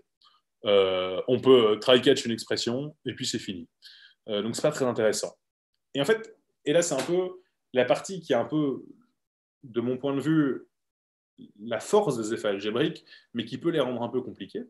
C'est qu'en fait, les effets algébriques laissent au gestionnaire la décision de continuer le calcul ou non. Et donc, en fait, concrètement, euh, au niveau du scope de l'interprétation de mon effet Grumble, eh ben, j'ai une fonction. Euh, une fonction qui prendra en argument en fait, euh, le type de retour de mon effet, qui s'appelle resume, et qui me permet de me dire, bah, OK, ben maintenant que tu as exécuté l'effet, eh ben, je veux que tu reviennes et que tu reprennes le programme là où il était. Et donc, c'est pour ça qu'en fait, euh, il existe en général deux analogies euh, aux effets algébriques. Euh, la première est barbare. ça correspond un petit peu à des catamorphismes sur des frimonades. La deuxième est beaucoup plus accessible selon moi. C'est ben, c'est comme des exceptions que l'on peut reprendre. Parce qu'en général, dès lors qu'on a trop une exception, on ne peut jamais revenir dans notre programme. En fait, si jamais on avait envie de calculer une expression qui euh, peut lancer une exception, calculer une expression qui peut lancer une exception, et qu'on avait envie de dire, si jamais tu échoues, tu mets une valeur par défaut, eh ben, on aurait dû mettre le try-catch au niveau de l'expression et dire, si jamais j'ai une exception, tu m'envoies cette valeur. Euh, par contre, euh, si jamais je suis dans mon mail et que j'exécute une fonction qui peut échouer, eh ben je je pourrais jamais dire, bah, en fait, c'est pas grave, tu continues le calcul avec cette valeur-là. Euh, d'où l'importance de modulariser correctement ces applications pour se dire, ben, il faut que dans mon euh, try-catch finale, il faut que j'ai l'opportunité de continuer le calcul qui aurait eu lieu. Euh, et donc ici, en fait, ben, concrètement, le throw correspond un peu à la performance d'un effet. Donc en l'occurrence ici, l'application de Grumble, hein, ça pourrait être un Grumble exception. Et le catch correspond au handler, au gestionnaire. Sauf que dans notre handler, on a la possibilité de reprendre le calcul à l'endroit où on a exécuté l'effet. Alors, Comment ça marche Je vois que je suis à 51 minutes. Je considère qu'on a bien eu 10 minutes de questions-réponses, donc euh, on continue, hein, excusez-moi. Donc là, on va faire une transformation assez simple. On va transformer un programme Kotlin en programme Coca. Euh, donc en gros, on a une fonction qui s'appelle sayHello. J'ai mis deux fois sayHello, j'aurais dû mettre main dans la deuxième fonction, excusez-moi. On a une fonction qui s'appelle sayHello qui affiche d'abord euh, what's your name, et puis après, ben, grâce à readline, on lit ce que l'utilisateur a envie de saisir, puis après on l'affiche. Et puis dans notre fonction qui normalement aurait dû s'appeler main, excusez-moi, on appelle sayHello. Donc là, on a une fonction très très courte, mais qui est absolument impossible à tester. Euh, ou alors euh, modulo beaucoup de difficultés. Et euh, une solution ici serait de passer l'objet console en argument et puis après de faire de l'injection de dépendance. Hein, euh. mais euh, elle est relativement courte. Mais en Coca, comment ça se passe? Ben, On va d'abord créer un effet qui s'appelle interaction. Et on va supposer qu'interaction, en fait, il a deux opérations primaires. La fonction show, qui prend une chaîne de caractères et qui ne renvoie rien, dont l'objectif est d'afficher un message sur la sortie standard. Et la fonction ask, qui est de demander à un utilisateur de saisir quelque chose. Alors elle prend quand même un argument, un message, qui sera la question qu'on demandera. Par exemple, quel est votre nom, hein, pour éviter de devoir faire un print line, un au-dessus, euh, et qui elle renverra une chaîne de caractères, soit ce que l'utilisateur aura saisi. Et donc, on décrit un premier programme, qui s'appelle programme. Alors, j'ai une fois de plus remis son type pour qu'on se rende bien compte hein, qu'on a vraiment les effets et, euh, et qu'elle ne renvoie rien. Et donc là, on définit d'abord une première variable qui s'appelle euh, name et où on va exécuter l'effet en lui passant comme message quel est votre nom. Et ensuite, on va faire show et puis on va faire hello plus name. Alors, un point qui est quand même extrêmement essentiel, et pour toute personne qui a déjà manipulé, par exemple, euh, des, monades avec Arrow ou la do notation de Haskell euh, ou des encodages spécifiques dans des langages de programmation fonctionnelle, eh ben, on se rend compte que là, on n'a absolument aucun bruit syntaxique. On est vraiment dans ce qu'on appelle un style direct. On écrit le programme tel qu'on l'aurait écrit dans un langage impératif. Et donc, comme j'ai un programme qui exécute des effets d'interaction pour lesquels je n'ai pas dans mon scope de gestionnaire, ben, je vais implémenter un premier gestionnaire. Et en fait, ce gestionnaire, je l'ai appelé Hello Handler par manque d'originalité. Ben, ce que je dis, c'est, je dis simplement, ben, si jamais tu tombes sur l'effet prompt, eh ben, on va appeler la fonction question prompt, qui a le type console aussi, et qui en fait euh, se contente juste d'afficher une question avec un message. Et donc, ce résultat qui sera géré par le gestionnaire de console qui est fournie par Coca me renvoie une chaîne de caractères que je mets dans la variable name. Et puis après, ben, je dis à mon programme, et maintenant tu continues le calcul. Donc en l'occurrence, on se retrouvera val name égale, ben, sauf qu'à la place d'avoir as quelque chose, on aura une valeur. Et puis là, je lui dis, ben, tu vas m'afficher hello et le nom. Donc, en fait, on a exactement le même programme qu'à gauche, et les gens vont me dire, oh, mais il est beaucoup plus long. Euh, et c'est pas faux, mais on va voir, euh, après avoir vu le feu de programme, on va voir ce qui va se passer quand on exécute ce programme avec euh, des jeux de colorisation syntaxique très très ennuyeux à en faire. et ben on va voir qu'on pourra faire beaucoup plus. Alors, concrètement, ben, qu'est-ce qui se passe quand on exécute le programme? Et donc, on arrive d'abord dans la première ligne, valname égale ask what is your name, et là, boum comme le programme est exécuté par le gestionnaire handler, on se retrouve donc dans le gestionnaire qui correspond en fait en quelque sorte à de la correspondance de motifs sur chaque euh, effet qui peut être géré, parce qu'on a une connaissance exhaustive des effets qui peuvent être émis. Euh, et donc là, on est dans le cas de ask. Et donc dans ask, on a une variable qui s'appelle prompt. Et donc ce qu'on fait, c'est eh ben, on dit ben, dans ma variable name, euh, eh ben, je mets le résultat de l'effet question qui sera interprété par Coca. Et puis je reprends mon programme. Et en l'occurrence, reprendre mon programme d'un point de vue un peu plus formel, qu'est-ce que ça veut dire? Ça veut dire reprendre la continuation en cours. Et donc, la continuation de valname égale ask what's your name, eh ben, c'est show, entre parenthèses, hello plus name. Et bam, on revient au niveau de notre show. Et cette fois-ci, ben, on est une fois de plus face à un effet. Et donc, on retourne dans notre gestionnaire. Et donc, cette fois-ci, ben, on se contente juste d'afficher le message et puis de on l'affiche avec println, hein, l'effet console. Et puis, bam, on retourne dans le resume. Et le resume nous ramène à la fin de notre programme. Point. Alors, ce qui est quand même relativement magnifique, c'est qu'on a une séparation systématique entre l'algorithme et la plomberie nécessaire à l'algorithme. C'est un peu une des promesses qui était faite avec les constructions catégoriques qui ont été mises en lumière au travers de la littérature et des tutoriels débutants pour la programmation fonctionnelle comme Haskell. Euh, et on permet à un programmeur, développeur ou à la développeuse de se focaliser sur les effets que va émettre un programme. Et un consommateur, donc un, gestionnaire, un consommateur d'une bibliothèque ou d'un programme, peut construire son propre gestionnaire et potentiellement changer le feu de contrôle. Alors pourquoi je dis ça?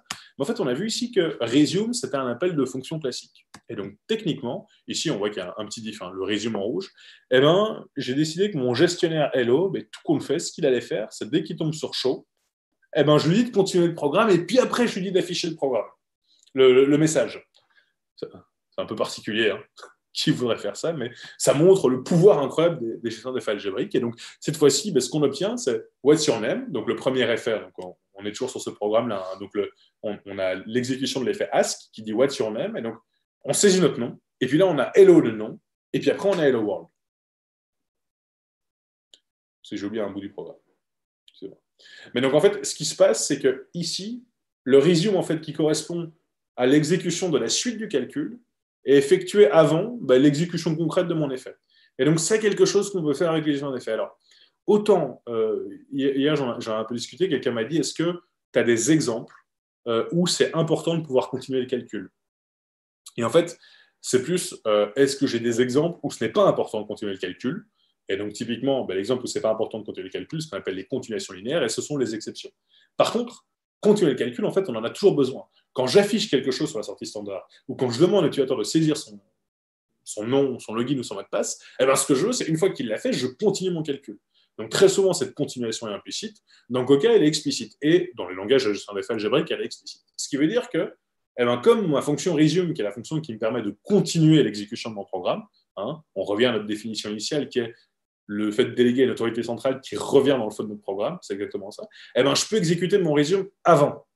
Et donc, en fait, ce qui se passe, c'est que si jamais je dis, bah, OK, bah, c'est très simple, tu m'affiches bonjour, puis après, tu me saisis ton nom, et puis après, tu m'affiches ton nom, eh bien, on va avoir un feu de contrôle qui va être complètement inversé. Et alors, ça, par contre, c'est très fort. Par contre, c'est discutablement utile. Et là, on peut se dire, mais alors, à quoi ça sert d'avoir ces gestions d'effets Parce qu'au final, hein, si on compare avec euh, le programme Kotlin, il y en a un qui est vachement plus court que l'autre. Bah, donc, tout à l'heure, je vous ai dit que le programme Kotlin était quand même très ennuyant à tester. Euh, mais là, en fait, maintenant, le test, il est vachement plus simple. Pourquoi? Mais donc, en fait, ce que je fais, c'est que je crée un nouveau handler, un nouveau gestionnaire. Et donc, je lui dis, bah, c'est très simple. Alors là, c'est un gestionnaire un peu particulier parce que j'ai rajouté un état mutable. Euh, parce que la mutabilité n'est pas fournie de manière euh, invasive en Coca. Et donc, en fait, ce handler, eh ben, il a une particularité, c'est que, on le voit dans le type, hein. donc c'est une fonction qui ne prend rien. Hein. le handler, c'est une fonction qui est de type unit, flèche. Et donc, après, elle prend un programme qui est de type interaction et state, un state de string, donc elle stocke un état mutable d'une chaîne de caractères, et elle renvoie un state de string. Donc en fait, ici, ce qu'on voit, c'est que mon handler élimine la partie interaction. Donc en gros, j'ai une fonction qui, euh, qui exécute deux effets, et donc j'élimine l'effet interaction. Et en fait, en éliminant l'effet interaction, je me mets dans l'effet state, qui lui est géré par défaut par Coca. Et en fait, ce qui se passe, ben, quand je tombe dans le cas de Ask, ben, en fait, Ask, je considère que je peux en avoir rien à faire du message parce qu'il ne fait pas vraiment partie de la logique métier de mon programme. Et donc, ce que je dis, c'est, ben, en gros, je récupère l'accumulateur, donc les informations que j'ai stockées, qui correspondent en fait à un buffer sur lequel j'écris. Et puis après, je lui dis, maintenant, tu vas, donc set, l'opération de muter la mémoire, l'accumulateur qu'on a récupéré, j'ai encore fait une faute, hein, plus, et donc je vais considérer qu'en fait la personne a écrit Xavier. Et puis après, je reprends le programme avec Xavier. Et puis après, je vais dire, mais si jamais j'ai euh, un show, ben donc, je récupère mon accumulateur et puis je concatène mon accumulateur avec le message que j'ai passé. Ce qui fait qu'en fait, si jamais j'ai envie d'implémenter un test, ben en fait, je passe un state handler dont la valeur par défaut s'appelle start. Et donc, je teste mon programme. Euh, en lui passant le test handler que j'ai écrit. Et en fait, après, je dis, ben, ce que je voudrais, c'est que ma chaîne de caractères soit égale à start, Xavier, hello, Xavier, end. Donc en fait, ce qui se passe, c'est que ben, à la place donc, de mon programme, à la place de lire ce que l'utilisateur a écrit, eh ben, on hook son résultat avec, euh, avec Xavier. Et puis après, ben, en fait, il va afficher Xavier, puisque dans mon code, on voit que j'ai renvoyé, j'ai résumé avec la valeur Xavier, etc. Et donc en fait, ici, c'est une manière assez sale, hein, qui consiste à une chaîne de caractères sur laquelle on écrit. Il y a évidemment d'autres méthodes. Mais donc, ce dont on se rend compte, c'est que on a un peu l'équivalent de l'injection de dépendance, sauf qu'elle n'est pas du tout liée à du passage par un argument et elle ne donne pas réellement d'informations sur le, le flot d'exécution du programme, et on est capable de fournir un test unitaire extrêmement facilement. Et ça, c'est un peu, de mon point de vue, la killer feature euh, des, effets algébriques, c'est à quel point il est facile de les tester. Alors, en résumé, en fait, on arrive au bout, hein, vous en faites pas. donc, la définition d'un effet, euh, donc euh, le, fameux effect hein, qu'on a ici, le effect interaction, ben, ça correspond à l'expression dénotationnelle d'un effet. En fait, quand on écrit un programme, eh ben, on considère que l'effet, comme on est un peu de la même manière qu'on était en Haskell, on est dans la description d'un programme, un programme qui sera amené à être interprété par un gestionnaire. Donc concrètement, la description d'un effet et le fait d'avoir des programmes qui propagent des effets, eh ben, c'est une description dénotationnelle. Là où la création du gestionnaire d'effets, eh ben, ça donnait un sens opérationnel, un sens concret à ce programme. Alors là, je suis désolé, on arrivait au bout de mon temps, donc j'ai fait des slides vraiment dégueulasses. Euh, ben donc concrètement, qu'est-ce que ça permet? Ben Déjà de de préserver un style naturel. Pour toutes les personnes qui ont déjà programmé avec du Haro ou, avec Haskell en règle générale sans utiliser de champ d'effet, eh ben, on se rend compte qu'on n'est pas obligé d'avoir la do notation ou une succession d'opérateurs flat map. Euh, alors, les effets qui sont connus par le compilateur sont extrêmement auto-optimisables. Donc là, j'ai mis un exemple. Hein, euh, dans une cellule de référence mutable, typiquement state, eh ben, on peut dire que 7x, 7y, ça correspond à 7y. Parce que si jamais on n'a pas eu la consommation, donc le get qu'on avait eu précédemment, ben, en fait, le 7y écrase le 7x, et donc le 7x n'a plus de sens dans euh, le calcul. Et comme on est dans des valeurs pures, eh ben, c'est des choses qui peuvent être résolues à la compilation. L'interpréteur a du pouvoir sur le flot d'exécution, et donc on peut implémenter des mécanismes plus spécialisés, par exemple un mécanisme d'exception. Et donc il faut savoir que moi j'ai tendance souvent à râler euh, parce que des langages spécialisent leur grammaire pour euh, des cas de figure qui sont très très spécifiques et qui pourraient être généralistes. Euh, typiquement, la syntaxe async await, même si euh, sémantiquement elle apporte beaucoup de, beaucoup de choses, en fait, ben, c'est une do notation qui est complètement spécialisée. En fait, ça correspond à du flatmap, du flatmap, du flatmap. Et donc, on pourrait se dire, ben, en fait, ce qu'on aimerait, c'est avoir une syntaxe qui est beaucoup plus permissive, comme la do notation en Haskell, et après, euh, avec l'expression de domaine specific language, les spécialiser avec du async await, mais tout en reposant sur la do notation, parce que ça donne du pouvoir à l'utilisateur. Et donc, typiquement, ben, ici, on l'a vu, c'est qu'en fait, un handler qui n'applique pas resume, eh ben, c'est la même chose qu'une exception. Donc ça veut dire que les effets algébriques sont une forme plus générale des exceptions et qu'on peut implémenter les exceptions. De la même manière que euh, le, while, le while a quand même une sémantique particulière parce qu'on pourrait croire que le while, on pourrait implémenter sous forme de until avec une fonction prédicat qu'on boucle à chaque itération, sauf que le while capture son scope. Et donc en fait, le while pourrait être implémenté avec des effets algébriques aussi. Alors on a une fois de plus, la séparation systématique de l'expression notationnelle et de l'expression opérationnelle, donc de manière moins pompeuse, la séparation entre la plomberie et la mécanique, ce qui est pratique, et les effets se propagent en système de type. Euh, et donc ça, on l'a vu euh, tout à l'heure avec euh, celui-ci. Hein. En fait, concrètement, on a un handler qui renvoie un nouvel effet, et donc on passe d'une fonction interaction state vers une fonction state.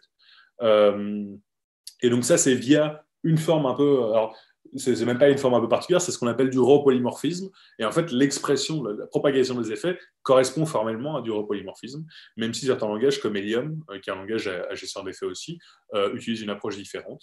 Et ils sont hyper facilement testables. Parce que tester un programme qui propage des effets dans un système d'effets algébriques, mais ça consiste juste à fournir un interpréteur qui va le tester. Et au-delà de ça, tester, en fait, c'est changer le contexte d'un programme. Mais il y a d'autres cas de figure on peut avoir envie de changer le contexte d'un programme. Typiquement, c'est ben, j'écris un programme qui est censé s'exécuter sur un ordinateur ou, dans un browser. Ben, en fait, on pourrait tout à fait imaginer que ben, ça consisterait juste à passer un gestionnaire d'effets qui est soit adapté au browser, soit euh, à l'ordinateur. Et donc, euh, de manière un peu plus, on va dire, excessive, hein, euh, les effets algébriques permettent d'encoder une forme de gestion d'indépendance avec la gestion des faux de contrôle, et donc ça se marie extrêmement bien avec le functional core ou impératif shell, qui est en fait l'appellation fonctionnelle de l'architecture hexagonale. Certaines personnes disent que c'est complètement différent, mais c'est évidemment exactement la même chose, encodé avec des outils différents. Alors, c'est trop cool les effets algébriques, hein. on veut tous en utiliser partout. Enfin, J'espère que je vous ai conquis. Hein. Des exceptions qu'on peut reprendre en magnifique, tester un programme facilement, et puis après avoir des optimisations au niveau de, l'expression d'effets incroyables. Et donc, est-ce qu'il y a des langages mainstream qui proposent des effets algébriques? Eh ben non, il n'y en a aucun. Euh, et ça, c'est la force. Hein. Les effets algébriques, c'est qu'il n'y a aucun langage qui, l'offre. Euh, alors, on peut avoir les approximations avec euh, des bibliothèques. Donc, euh, dans le monde de la programmation fonctionnelle, il y a deux approches qui permettent de le faire hein. la transformation de monades et, les monades gratuites, euh, qui ont toutes les deux leurs avantages et leurs inconvénients. Euh, et en fait, moi, ce, que j'espère, en fait, c'est que ça suivra un peu la même, dire, la, même évolution et introduction des systèmes de type dans les langages de programmation. historiquement, les systèmes de type n'ont pas du tout été introduits pour des raisons logiques dans les langages, mais pour des raisons de mémoire. Et puis ensuite, les gens se sont dit que c'est quand même un outil pratique pour avoir des programmes qui sont plus sûrs. Euh, et c'est quand même incroyable que des gens soient arrivés à cette conclusion après avoir fait du C. Euh, et puis après, ben, au fur et à mesure, les langages de programmation, qui, enfin les systèmes de type, ont commencé à, mainstream, hein, ont commencé à voir les systèmes de type comme des, outils de design. Euh, et donc, on a des fonctionnalités des systèmes de type un peu plus avancées qui permettent de concevoir des algorithmes beaucoup plus sûrs et extrêmement expressifs. Et j'espère qu'on aura un petit peu euh, le même, euh, la même promesse avec les effets. Alors, un langage dont l'intégration des effets algébriques est en cours, c'est le langage OCaml.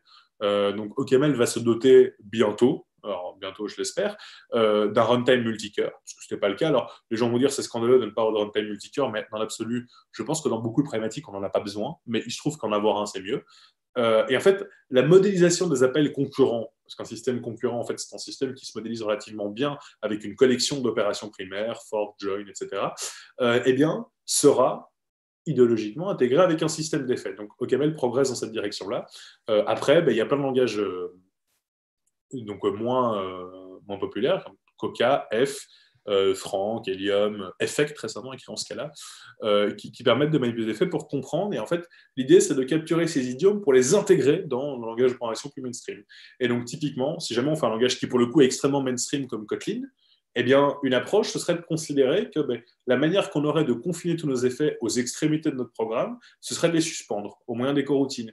Et en fait, on se rend compte que les coroutines ressemblent extrêmement fort à cette monade IO. Euh, on est en fait chaque ligne qu'on a dans une coroutine, si jamais elle renvoie une coroutine aussi, est euh, éradiquée. Donc ça correspond grosso modo à un flat map. Et donc en fait, concrètement, il est tout à fait possible de considérer qu'une coroutine, son but n'est pas uniquement d'exécuter un trait préemptif léger pour faire du calcul parallèle, mais aussi potentiellement de confiner ses effets aux extrémités de son programme. Et donc, ça deviendrait des effets de bord qui ne seraient pas de bord.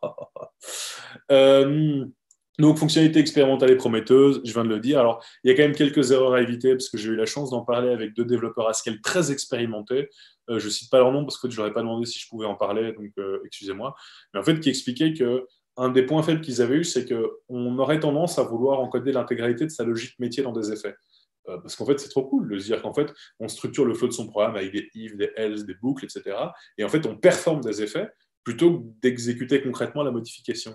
Et en fait, le problème, c'est que ça rend le code extrêmement compliqué à raisonner, et dans une code base qui est très très grande, eh ben, euh, ça devient complètement ingérable, et puis les problèmes ne sont pas si facilement testables que ça. Et en plus, comme c'était dans un langage, donc en l'occurrence Haskell, qui n'offre pas de gestionnaire d'effets first class, ben, ça impliquait des bibliothèques qui engendraient beaucoup de boilerplate. Euh, ben alors, globalement, je pense que le but des effets, c'est d'être utilisé comme des effets, et donc exécuter des choses non calculables, et pas toute la logique métier, parce qu'en règle générale, eh ben, il a tendance à considérer que la logique métier est complètement pure. Euh, elle est euh, généralement connue, et c'est un peu euh, l'idée derrière Function Anchor Imperative où l'architecture hexagonale, c'est garder le corps de métier complètement pur, et puis après, pousser aux extrémités, get downler, l'exécution d'effets impurs. donc ça vaut le coup de pas considérer que chaque appel de fonction peut être substitué par un effet pour donner du contrôle à la personne. Ça rendra juste le code indocumentable et chiant à, implémenter. J'ai fini. donc ça a duré un peu plus longtemps que prévu, je vous prie d'excuser. J'espère que ça vous aura motivé à regarder un peu ce que c'est que ces effets et à appliquer cette manière, cette tentative de représentation systématique entre euh, l'algorithme et la plomberie nécessaire à l'algorithme dans des langages qui ne permettent pas la gestion des faits.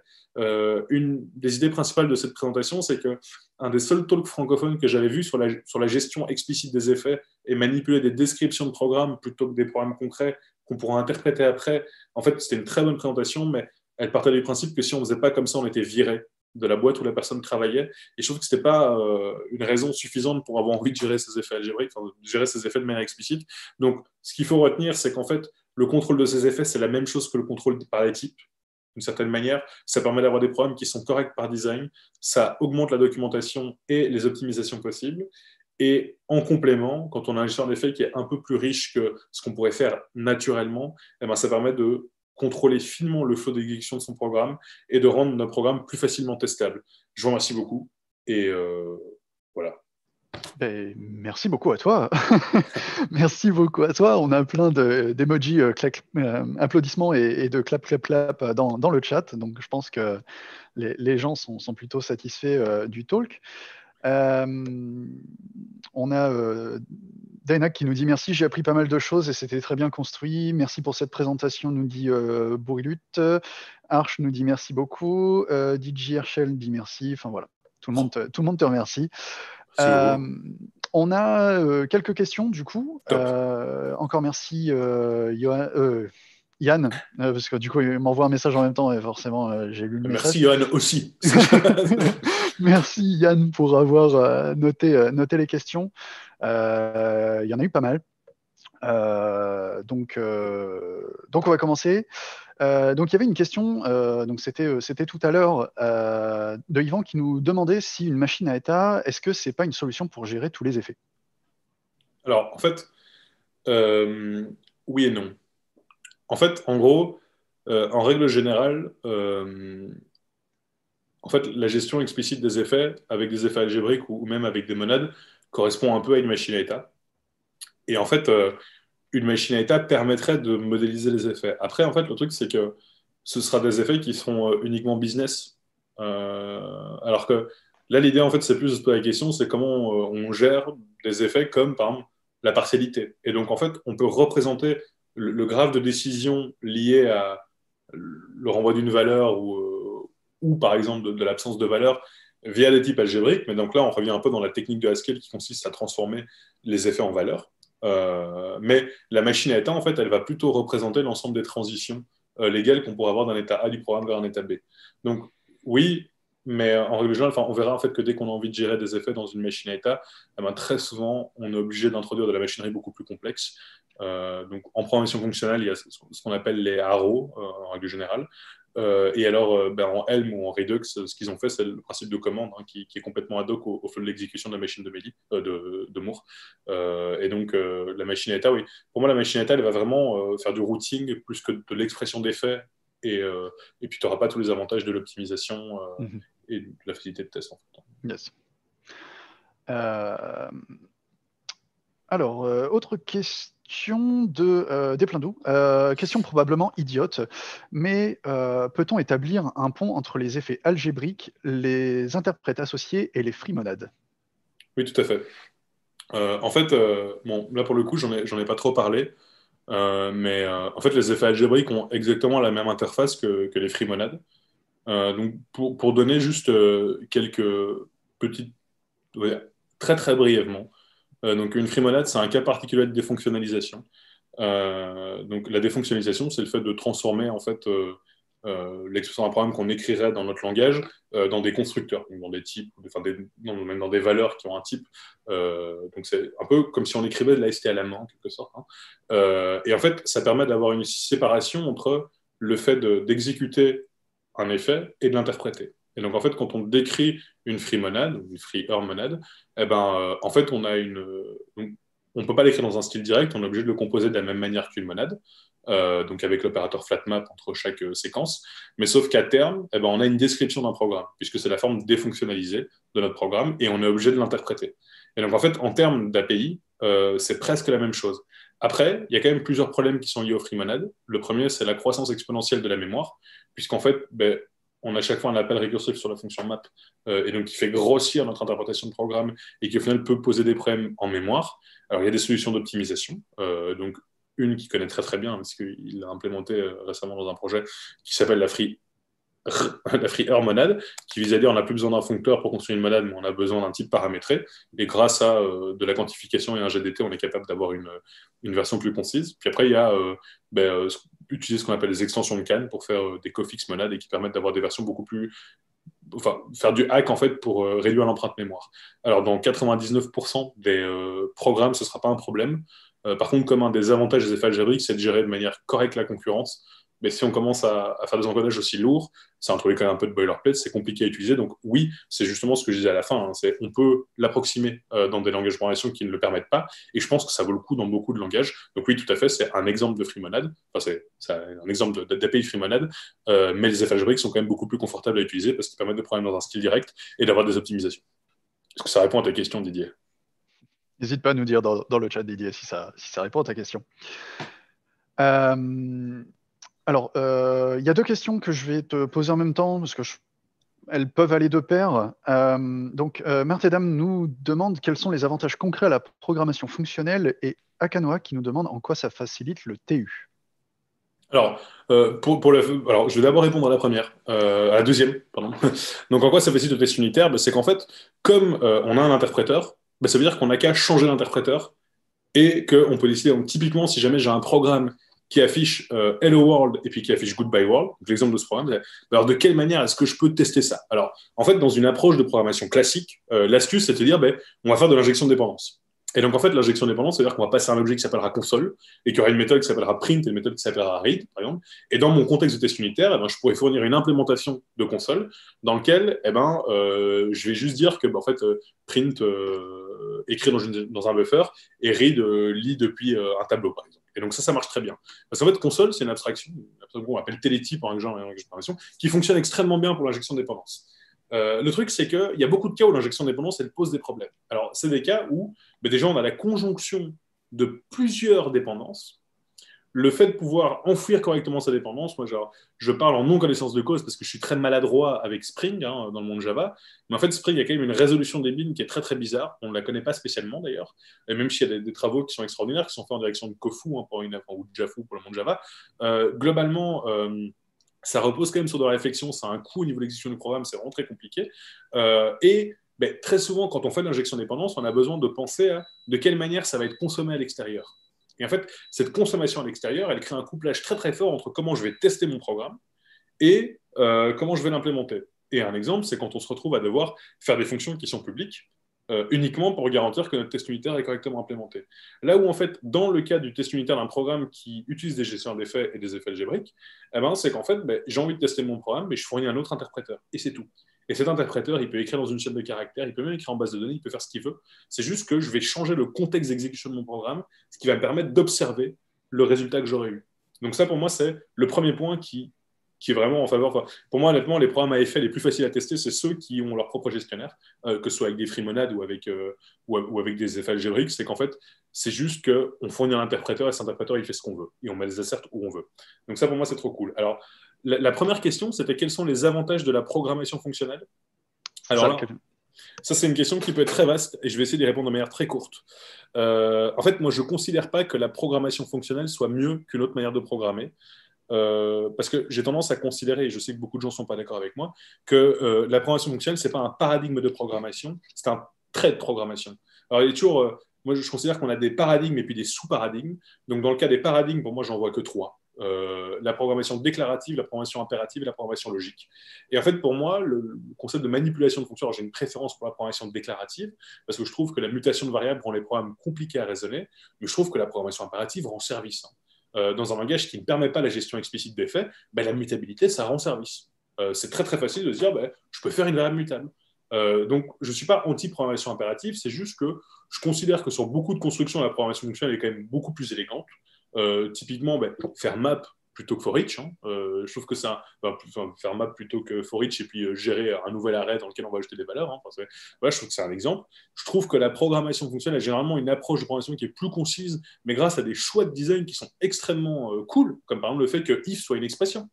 Euh, c'est-à-dire, je peux faire retourne if ou x égale if plutôt que euh, déclarer x sans lui attribuer de valeur et puis faire un if else, etc. Enfin, je compliqué. Et puis, je trouve que les langages de programmation qui permettent d'avoir des systèmes de type, alors ce que je que j'appelle évoluer, mais qui en fait sont des systèmes de type à l'AML, permettent d'écrire de, manière très très concise des problématiques très complexes. Et généralement, ben, ce dont on se rend compte, c'est que les langages qui ne permettent pas d'exprimer des types, euh, ce qu'on appelle les types algébriques, donc des sommes et des produits, hein, donc des, des tuples et des disjonctions, comme qu'on a vu, eh ben, on essaie de les imiter avec des encodages incroyablement compliqués, avec des familles scellées, enfin, les sites classes en Kotlin, puis de l'héritage. Donc en fait, je trouve que les langages de programmation fonctionnelle ont tendance à être plus concis et plus agréables à écrire. Euh, après, euh, je trouve que, pour moi, le langage idéal, c'est un langage qui est euh, à la fois fonctionnel, à la fois impératif, à la fois orienté objet, et ça tombe bien, c'est le cas de Kamel. c'est une belle conclusion pour, pour cette question. Euh, alors, tu parlais de variables justement, et euh, Wixyweb a une question sur ce sujet. Euh, le fait d'utiliser une variable n'est-il pas déjà un effet et donc une entorse à la programmation fonctionnelle? Alors moi, je ne trouve pas. parce qu'en fait, il y a toujours l'énorme problème du concept de mutabilité, c'est que je pense qu'il est extrêmement mal compris. en fait, quand on parle de mutabilité, c'est de la mutabilité au niveau d'une cellule mémoire qui est connue. Euh, donc concrètement, euh, l'expression x égale x plus 1 n'a peut-être pas de sens mathématique, mais en fait, c'est juste qu'on considère que ben, euh, l'expression x prend la valeur de x plus 1, et dans le scope, il est possible que ben, ce soit juste une nouvelle valeur. Donc, en général, on évite de faire d'écrire ce genre de choses qu'on peut écrire en Haskell ou en Camel, parce que si par exemple, eh ben, j'introduis un nouveau scope, et dans ce nouveau scope, je modifie, alors je ne modifie pas la valeur de x, hein, mais je réattribue je réassigne x, et puis quand je sors de mon scope, ben, en fait, j'aurai toujours la valeur précédente de mon x. Donc, en fait, cognitivement, ça rend le code extrêmement compliqué à raisonner. Après, euh, en programmation fonctionnelle, quand on parle de, variables, en fait, on parle de variables dans le sens mathématique. Euh, donc, euh, donc, non, je pense, pas que, je pense pas que ce soit une entorse à la programmation fonctionnelle. En, vrai, en général, ce, qu'on appelle entorse à la programmation fonctionnelle, c'est des structures de données mutables. c'est le fait de se dire qu'en fait, on, modifie la valeur au même endroit mémoire ce qui rend les programmes concurrents extrêmement durs à écrire. Hmm. Ok.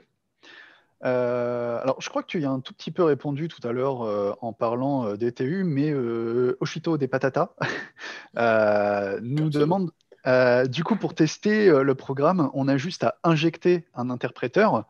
En quoi est-ce différent d'une approche non fonctionnelle? Alors, moi, je pense que pour le coup, les effets algébriques, ce n'est pas quelque chose de fonctionnel. Euh, alors, je sais que le, talk s'appelait euh, Programmation fonctionnelle, principe de réalité, de réalité hein, gestion des effets. Parce qu'en fait, la question des effets se pose quand même très souvent dans un langage fonctionnel. Et très souvent, j'ai entendu, mais si le langage ne fait pas d'effet de bord et euh, manipule que des fonctions pures, il est inutilisable. mais j'ai vraiment l'intuition qu'on pourrait intégrer un système de, Enfin, c'est toujours, ça dépend de ce qu'on considère comme un langage fonctionnel. Hein. Si on considère qu'un langage fonctionnel, c'est un, langage dans lequel on peut passer en argument des fonctions et renvoyer des fonctions, comme JavaScript, comme Ruby, comme euh, plein de langages, euh, ben, en fait, euh, c'est pas lié au fonctionnel. Si on considère par contre que ça implique la transparence référentielle, le fait d'avoir des fonctions pures, etc., ben, évidemment, autre chose. mais donc, en fait, moi, j'aime pas trop le fait de parler d'injection de d'interpréteur, parce qu'en fait, on injecte un programme dans l'interpréteur, ce qui est quand même complètement différent. autant dans de dépendance, on injecte les dépendances dans le programme. Là, on parle d'injecter un programme dans un interpréteur. Donc c'est quand même un peu différent. Après, si jamais il existe des méthodes, en fait, il y en a une, hein. il existe en programmation orienté-objet, pour le coup, euh, donc, euh, quand je dis orienté-objet, ça veut dire orienté-objet moche. Hein. Donc, c'est orienté-objet euh, à la Gang of Four, donc avec une collection de design patterns qui ne font que l'apologie de l'absence de lambda dans, dans, un langage extrêmement verbeux et très peu utile, comme par exemple Java ou C++. Ben, en fait, il y a une manière de faire qui s'appelle le design pattern interpréteur, oh là là, et qui en fait ressemble très très fort à une frimonade.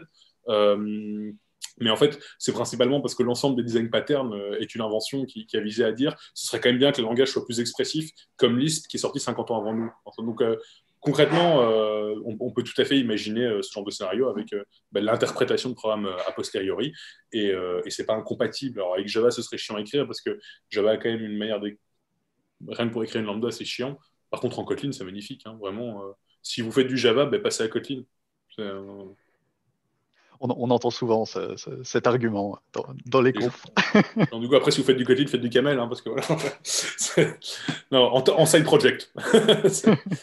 Mais donc, euh, je ne pense pas que ce soit lié au fonctionnel à proprement parler. Après, il y a quand même une chose qu'il ne faut pas oublier, et là, pour le coup, je, sais que c'est un peu polémique ce que je veux dire, et je m'en excuse euh, à moitié.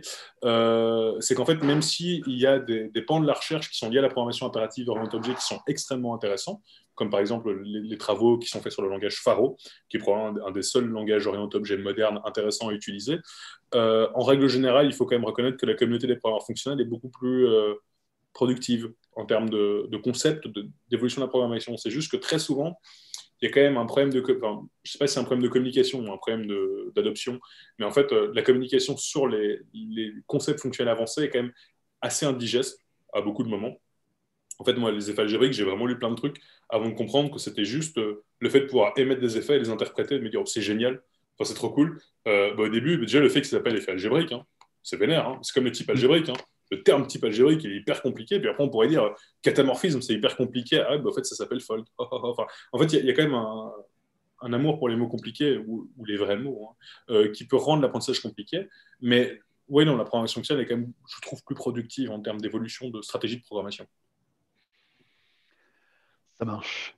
Euh, alors, il reste encore quelques questions. Euh, j'ai pas le chat sous les yeux, donc s'il si y en a encore, n'hésitez pas. Je crois que je suis pas totalement dans le cadre, hein. j'ai un écran euh, juste en dessous. Euh, donc vous voyez mon front. on avait une question de Mika qui nous dit Bonsoir, l'ajout d'une trace dans une fonction existante implique donc de revoir les signatures des fonctions applantes? Alors, en fait, non. et c'est justement, alors, c'est une excellente question. Euh, en fait, le truc, alors oui, l'ajout d'une trace, oui.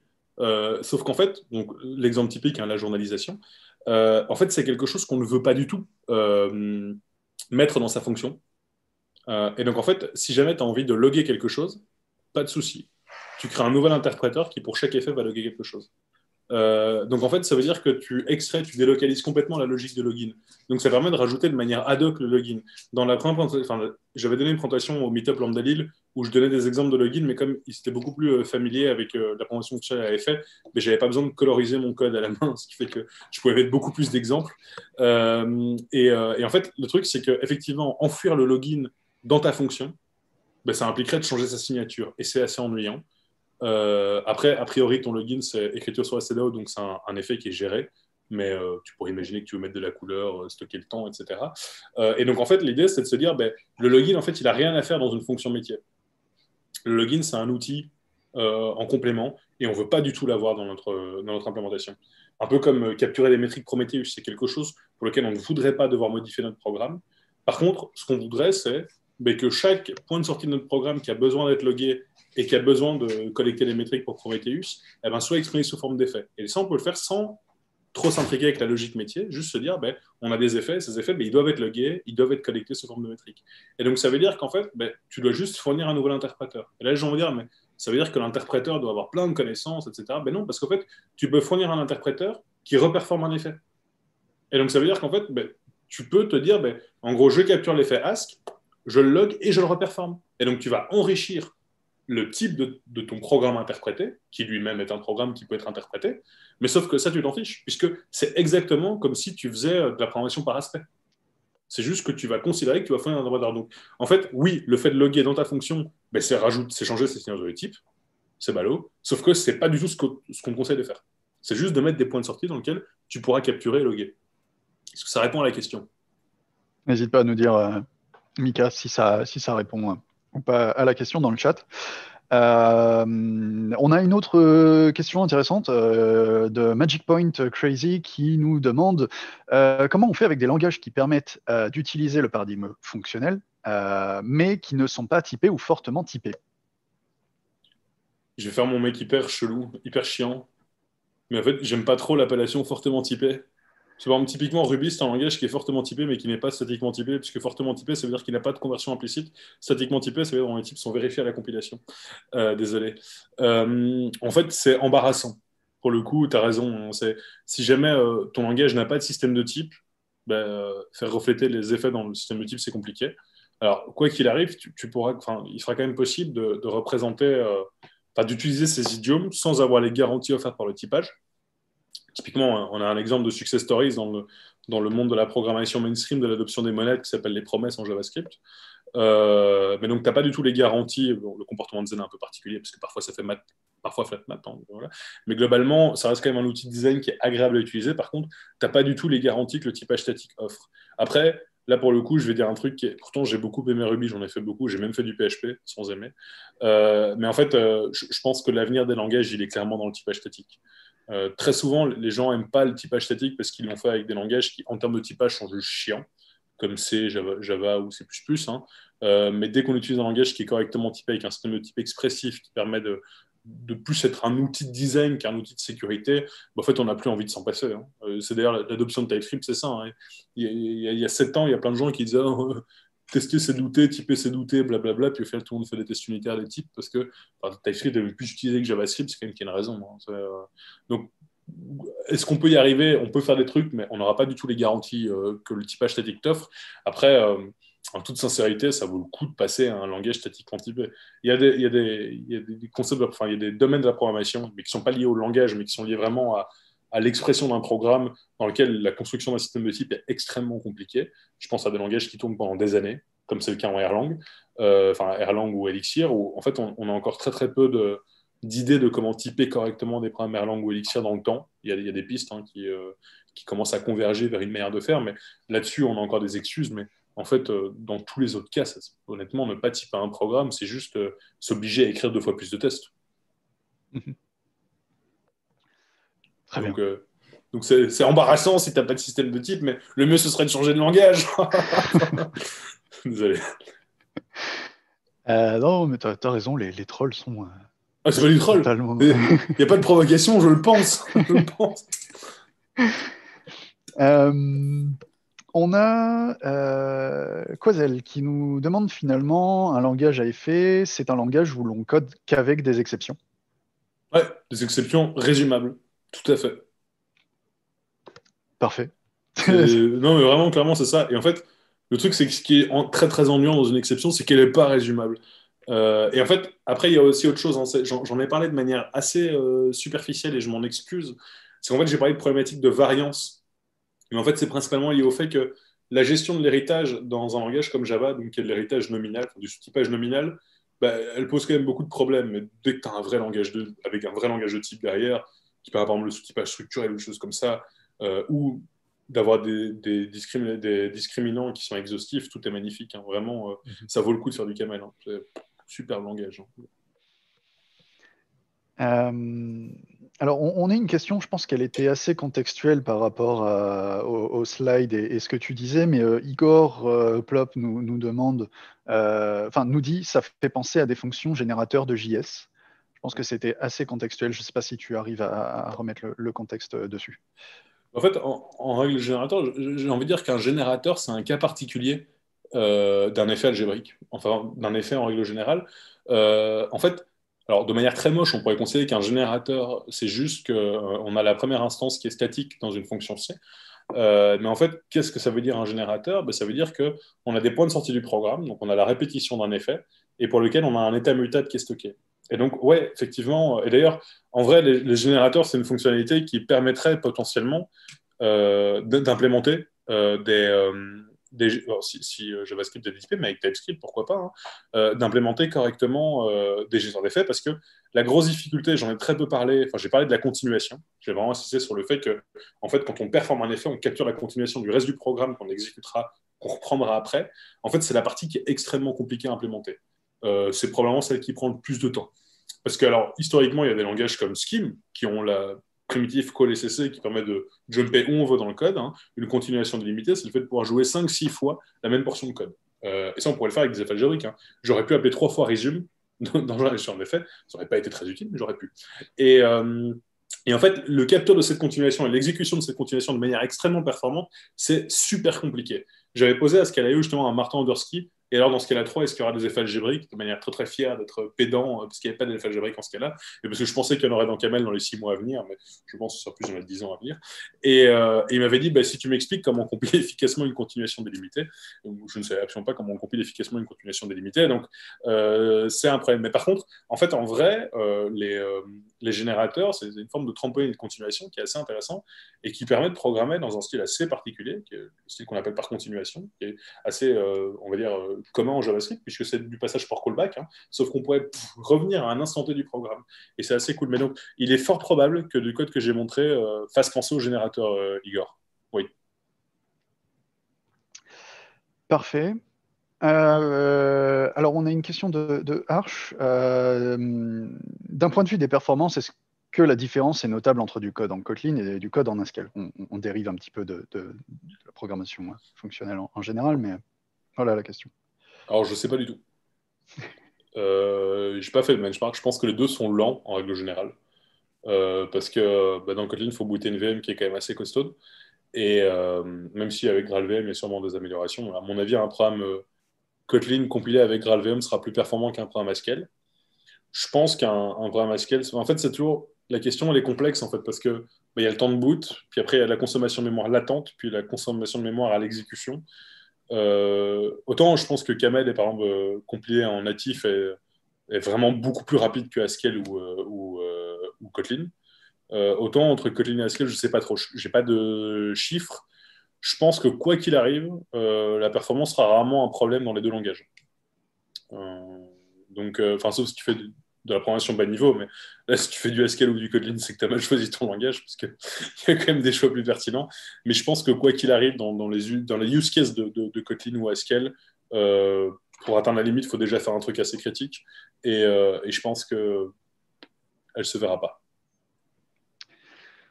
Ça marche, merci pour, euh, pour ta réponse. Je pense qu'on va encore poser deux questions et puis, puis on se laissera là. Euh, comme ça, tu pourras finir euh, tranquillement ta bière. Euh, santé. on a Quazel qui nous demande du coup comment se situe le tagless final par rapport au langage à effet. Alors en fait, juste pour donner un peu de contexte, donc, ce qu'on appelle l'encodage tagless final, c'est une manière, dans les différentes manières, de faire ce que. Alors, ça, c'est marrant parce que euh, ce qu'on appelle un encodage final a une problématique initiale. Et donc, euh, tagless final, c'est une manière d'écrire du, code qui gère les effets dans un langage qui ne gère pas les effets, enfin, autrement que par IO. Euh, je, pense que les effets algébriques sont, sont clairement mieux parce qu'ils nécessitent beaucoup moins de boilerplate.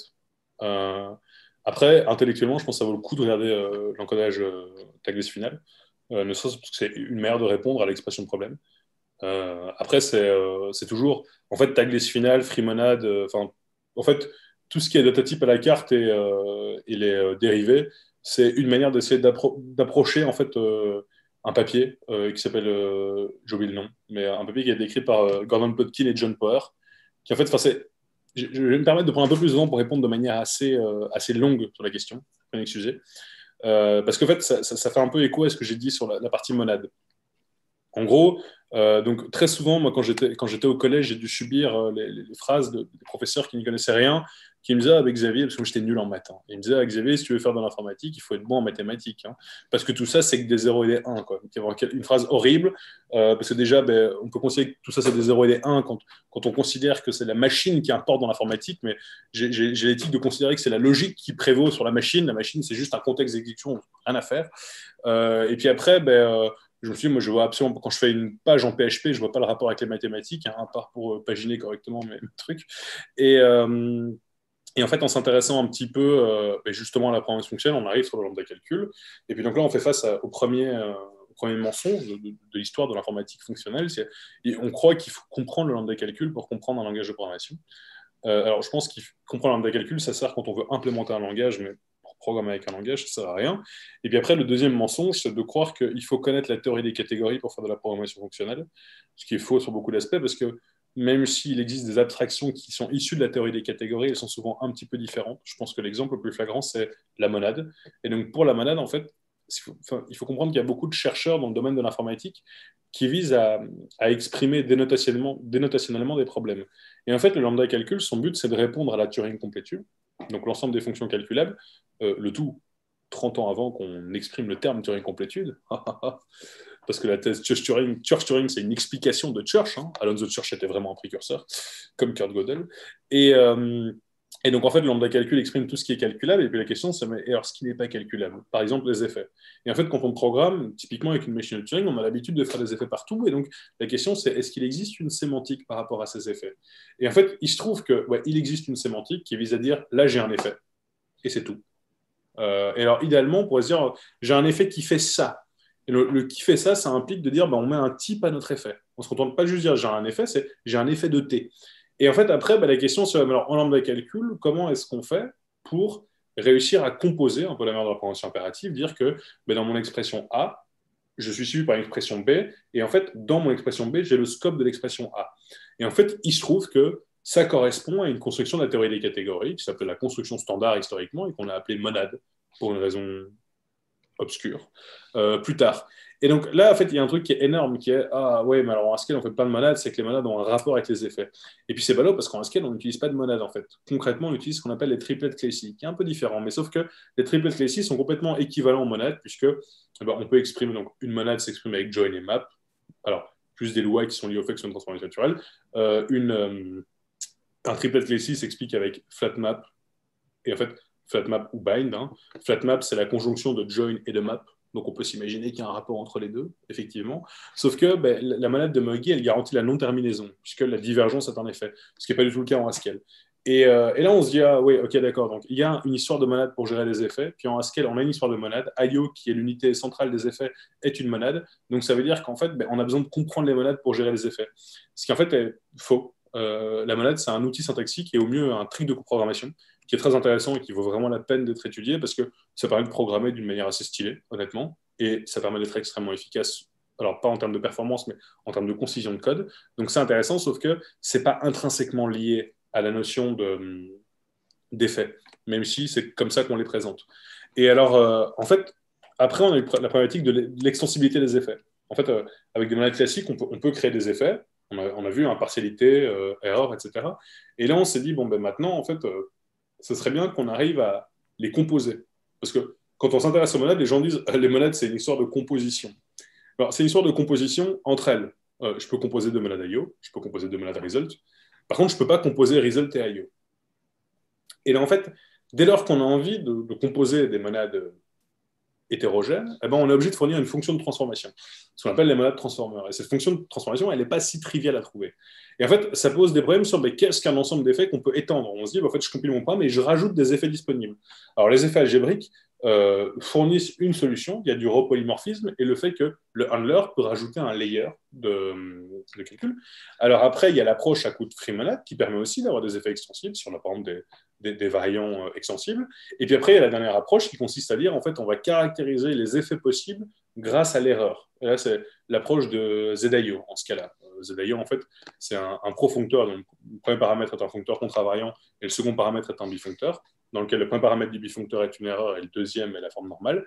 Et, euh, en fait, c'est relativement différent de tagless final, sauf que ben, ça offre les mêmes promesses. donc, tagless final, c'est un encodage lourd pour répondre à une problématique qui est relativement simple, qui est exécution des faits interprétation. Donc, c'est très proche. L'approche est idéologiquement la même, Sauf que dans un des cas, il y a un coût, un coût qui est très grand. Il te faut soit un très bon langage de module, soit un très bon langage de type class. Et c'est pour ça qu'au final, on l'a que en Haskell, Scala et Camel. D'autres langages, c'est beaucoup plus compliqué. Mais ça nécessite quand même un bruit cognitif beaucoup plus grand. Je pense que former quelqu'un à, l'encodage tagless final, c'est vraiment très compliqué. Surtout que tous les exemples sont quand même très orientés à interpréteur en règle générale. alors, pas interpréteur, interprétation des faits, hein, interpréteur dans le langage de programmation. Euh, et donc, euh, c'est pour ça que je trouve que les effets algébriques sont quand même mieux parce que je les trouve plus simples. Après, euh, c'est ouvert à débat. Top.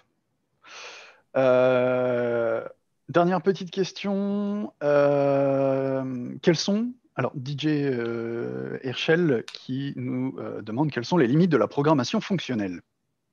Il n'y en a pas Je m'attendais à ça. Pas la même programmation impérative. On, a eu du troll de, de la part d'Igor qui disait la stack. on, peut parler de, on peut parler de la HIP, de la JVM si vous voulez, hein, mais non, en fait, il y, y, a sûrement des limites, je ne les connais pas. Je, je, pense que. enfin, toujours, on est content d'avoir de la mutabilité dans certains langages. Hein. Je pense que la limite de la programmation fonctionnelle, c'est celle qu'on a envie de se mettre. Euh, ça dépend aussi de comment on a envie de percevoir la programmation fonctionnelle. Et puis, ça dépend aussi de, ce qu'on a envie de faire. Honnêtement, si jamais quelqu'un me dit, j'ai tendance à toujours, quelqu'un me dit, j'ai un choix de projet, tu me conseilles quoi comme langage? Ben, Invariablement, je dirais OCaml. Euh, peu importe le projet, parce que pour moi, en fait, faire du OCaml, c'est plus fun que faire un projet. Donc, je conseillerais toujours OCaml. Par contre, si le game, la, personne me demande de, le dire de manière vraiment sincère et qui me dit j'ai envie de faire euh, un microcontrôleur, bah, si, je lui présente, si je lui propose camel, c'est que je suis un connard. Hein. En vrai, euh, c'est la limite de la programmation fonctionnelle, c'est un peu toujours la limite déjà que les bibliothèques t'offrent de l'objectif du langage. Je pense que faire du web avec Rust, c'est stupide. Bon, il y a plein de gens qui le font, mais ça n'a aucun intérêt. Euh, on aurait les mêmes avantages à le faire en OCaml. François, c'est pour toi celle-là. je pense par contre que faire du web en camel, c'est très pertinent. pour moi, les limites, c'est un peu bah, déjà la limite de la mauvaise foi. Faire du bas niveau avec du fonctionnel, c'est pas très intelligent. Euh, enfin, si, peut-être qu'il y a des langages, des langages comme ATS, par exemple, qui permettent de le faire, et puis Rust, qui est très fonctionnel, mais c'est toujours, en fait, plus que le paradigme, je raisonnerai en termes de, langage, parce qu'en fait, on peut toujours fournir une API fonctionnelle sur une problématique qui n'est pas fonctionnelle. Euh, et c'est un peu ce qu'a fait Rust. Hein. Euh, des types algébriques et des fonctions d'ordre supérieur, c'est un peu la définition d'un langage fonctionnel statiquement typé. Donc en fait, pour moi, c'est plus au niveau du langage. Et, euh, en fait, moi, je crois sincèrement dans le mix des paradigmes et des sous-paradigmes. Pour moi, un langage impératif fonctionnel, ça n'a absolument pas de problème. Et c'est le cas de Kamel.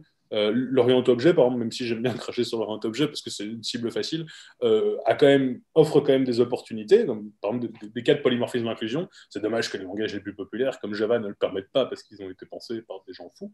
Mais à part ça, euh, je pense qu'on on peut faire des choses intéressantes avec l'Orient Objet. Par exemple, faire des bindings vers JavaScript. qui est Orient Objet aussi. Donc, pour moi, il n'y a pas de limite à la programmation fonctionnelle. Il y a plus une limite au langage qu'on utilise et puis après une limite aux bibliothèques qui sont disponibles dans le langage. Mais il n'y a pas de limite.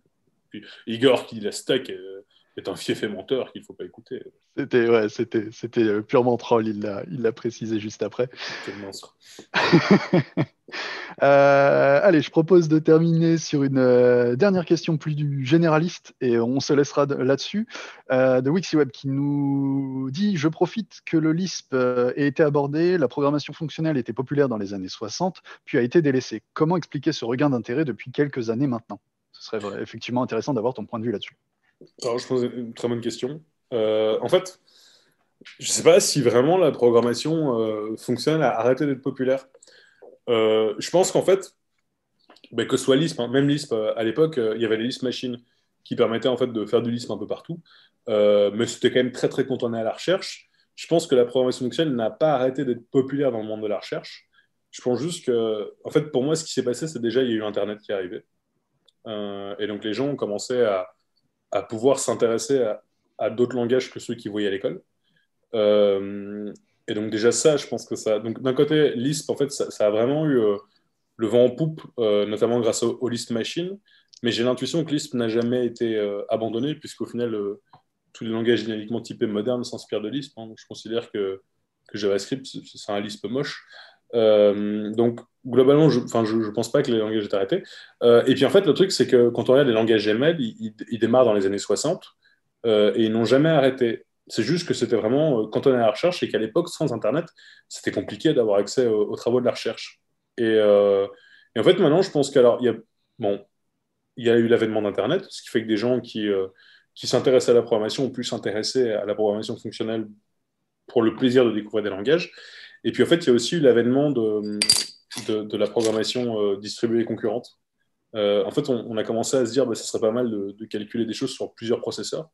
Et, là, on s'est dit, en fait, l'immutabilité, c'est vraiment, vraiment très, très cool. Euh, et donc, les gens commencent à utiliser des, langages qui forçaient une modélisation de programme qui était plus cohérente. Et en fait, ces success stories ont amené des gens à vouloir faire des langages fonctionnels. par exemple, pour l'anecdote, hein, j'en ai assez honte, mais je l'assume à 100%. En fait, en 2007, j'étais sur Facebook et en fait, il y avait la bêta du chat. Et, euh, en fait, le chat, c'était incroyable. Genre, j'ouvrais euh, deux onglets côte à côte et je m'envoyais un message et vous. je le voyais arriver en temps réel dans l'autre onglet. Et, à l'époque, en fait, le, concept de Comet n'était pas du tout populaire, puisque et en vrai, même l'Ajax, hein, ça existait déjà, mais jQuery n'existait pas encore. Donc un sentier ActiveX Request et XML HTTP Request, c'était pas évident. Et donc, alors il y a plein de gens qui disent non, mais si en 2001 ça existait déjà, mais en vrai, 2001 JavaScript c'était pour faire suivre du texte à la souris, hein. c'était pas pour faire autre chose. Et donc, moi je me suis dit, oh, c'est incroyable ce truc, comment ils ont fait ça? Et alors en fait, comme à l'époque, j'avais rien compris au concept de client-serveur, eh ben, j'avais tapé genre dans Google Oh was made de Facebook chat? Et j'étais tombé sur un article qui expliquait que c'était en Erlang. Mais moi, j'avais rien compris, parce qu'en fait, moi, ce qui m'intéressait, c'était l'animation flash d'un pixel qui faisait un deuxième thread, en fait, euh, dans l'application. Mais sauf que euh, je suis tombé sur un truc en Erlang. Et donc, comme j'avais rien capté, je l'ai lu, et c'est comme ça que je suis devenu développeur back-end. Euh, parce que j'ai j'ai trouvé ça assez cool. J'étais allé à la FNEC et je me souviens, j'ai demandé est-ce que vous avez un livre sur Erlang Et le mec m'a dit oui, mais depuis 4 ans. et donc, j'ai acheté Programmer Erlang. C'était en 2006, je crois, 2007. 2007. Et euh, c'est comme ça que j'ai commencé le fonctionnel.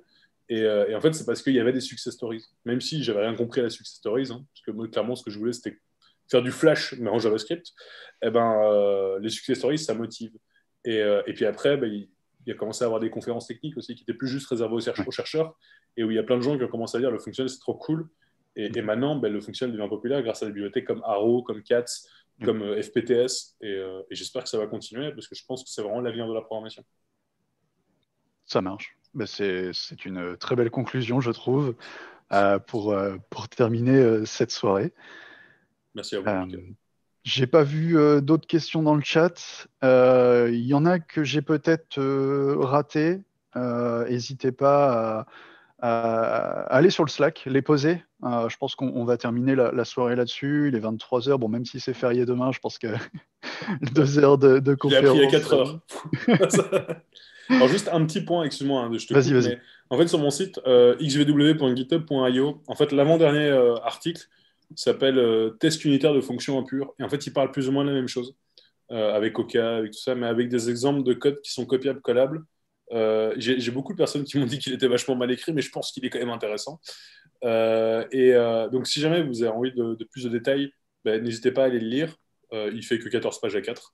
Et, euh, puis après, comme, je l'avais dit tout à l'heure, je, m'inscris sur Codeur en scène demain matin sur le Slack, mais euh, je reste ouvert, que ce soit par Twitter ou, euh, ou par Slack ou par email. N'hésitez surtout pas parce que c'est un sujet qui m'intéresse vraiment beaucoup. Et alors, je m'occupais d'un meetup qui s'appelle Lambda Lille, dont le prochain événement est le 19 novembre, très bientôt. Et n'hésitez pas à rejoindre parce qu'on a aussi fait comme Codeur en scène, on a, on a notre cinquième édition en ligne. Et donc, c'est moins ambitieux que Codeur en scène quand même. mais N'hésitez pas à venir nombreux parce qu'on s'amuse bien et vous êtes les bienvenus. Et bientôt, euh, Lambda Nantes, si tout se passe bien. ça marche, bah, je, l'espère. J'espère, euh, j'espère que ça va, ça va te, suivre euh, jusqu'à Nantes. Bah, merci beaucoup, Xavier. C'était, c'était vraiment très très intéressant. le chat a l'air, a l'air conquis. Hein. Tout à l'heure, ils t'ont, ils t'ont applaudi. Euh, on a un modo qui demande euh, à quelle heure le 19 Parce que Codeur enseigne est à 21h. Avant Avant, bah voilà, parfait, vous, Pourrez, euh, vous pourrez enchaîner les deux. Et alors, exceptionnellement, il n'y a qu'un seul talk. Et après, ce qu'on peut faire, c'est on peut se dire, vous venez, et puis après, on fait l'after sur le chat de Codeur en scène. Ah, ben, tout le monde est content. carrément, carrément. On peut faire ça du coup. Eh bien, écoutez, là-dessus, on va vous souhaiter, on va vous souhaiter une bonne soirée une bonne nuit, du coup. À cette heure-là, j'imagine qu'on va commencer à aller, se coucher. Et profitez bien de votre mercredi, du coup. Et euh, bonne fin de semaine à tous. Et on se donne rendez-vous, du coup, jeudi avec euh, Fabrice pour la revue de code, pour une conférence voilà, sur la revue de code.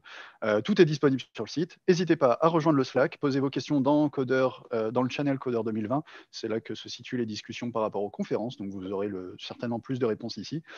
Et euh, bah, comme le disait Xavier, n'hésitez pas peut-être le, le, le, pinguer euh, pour, euh, pour, si vous avez des questions. Hein, voilà. Donc, un grand merci à vous tous d'avoir été présents ce soir. Et on se donne rendez-vous du coup à jeudi 21h. Bye bye tout le monde. Ciao, merci pour l'organisation et à très bientôt.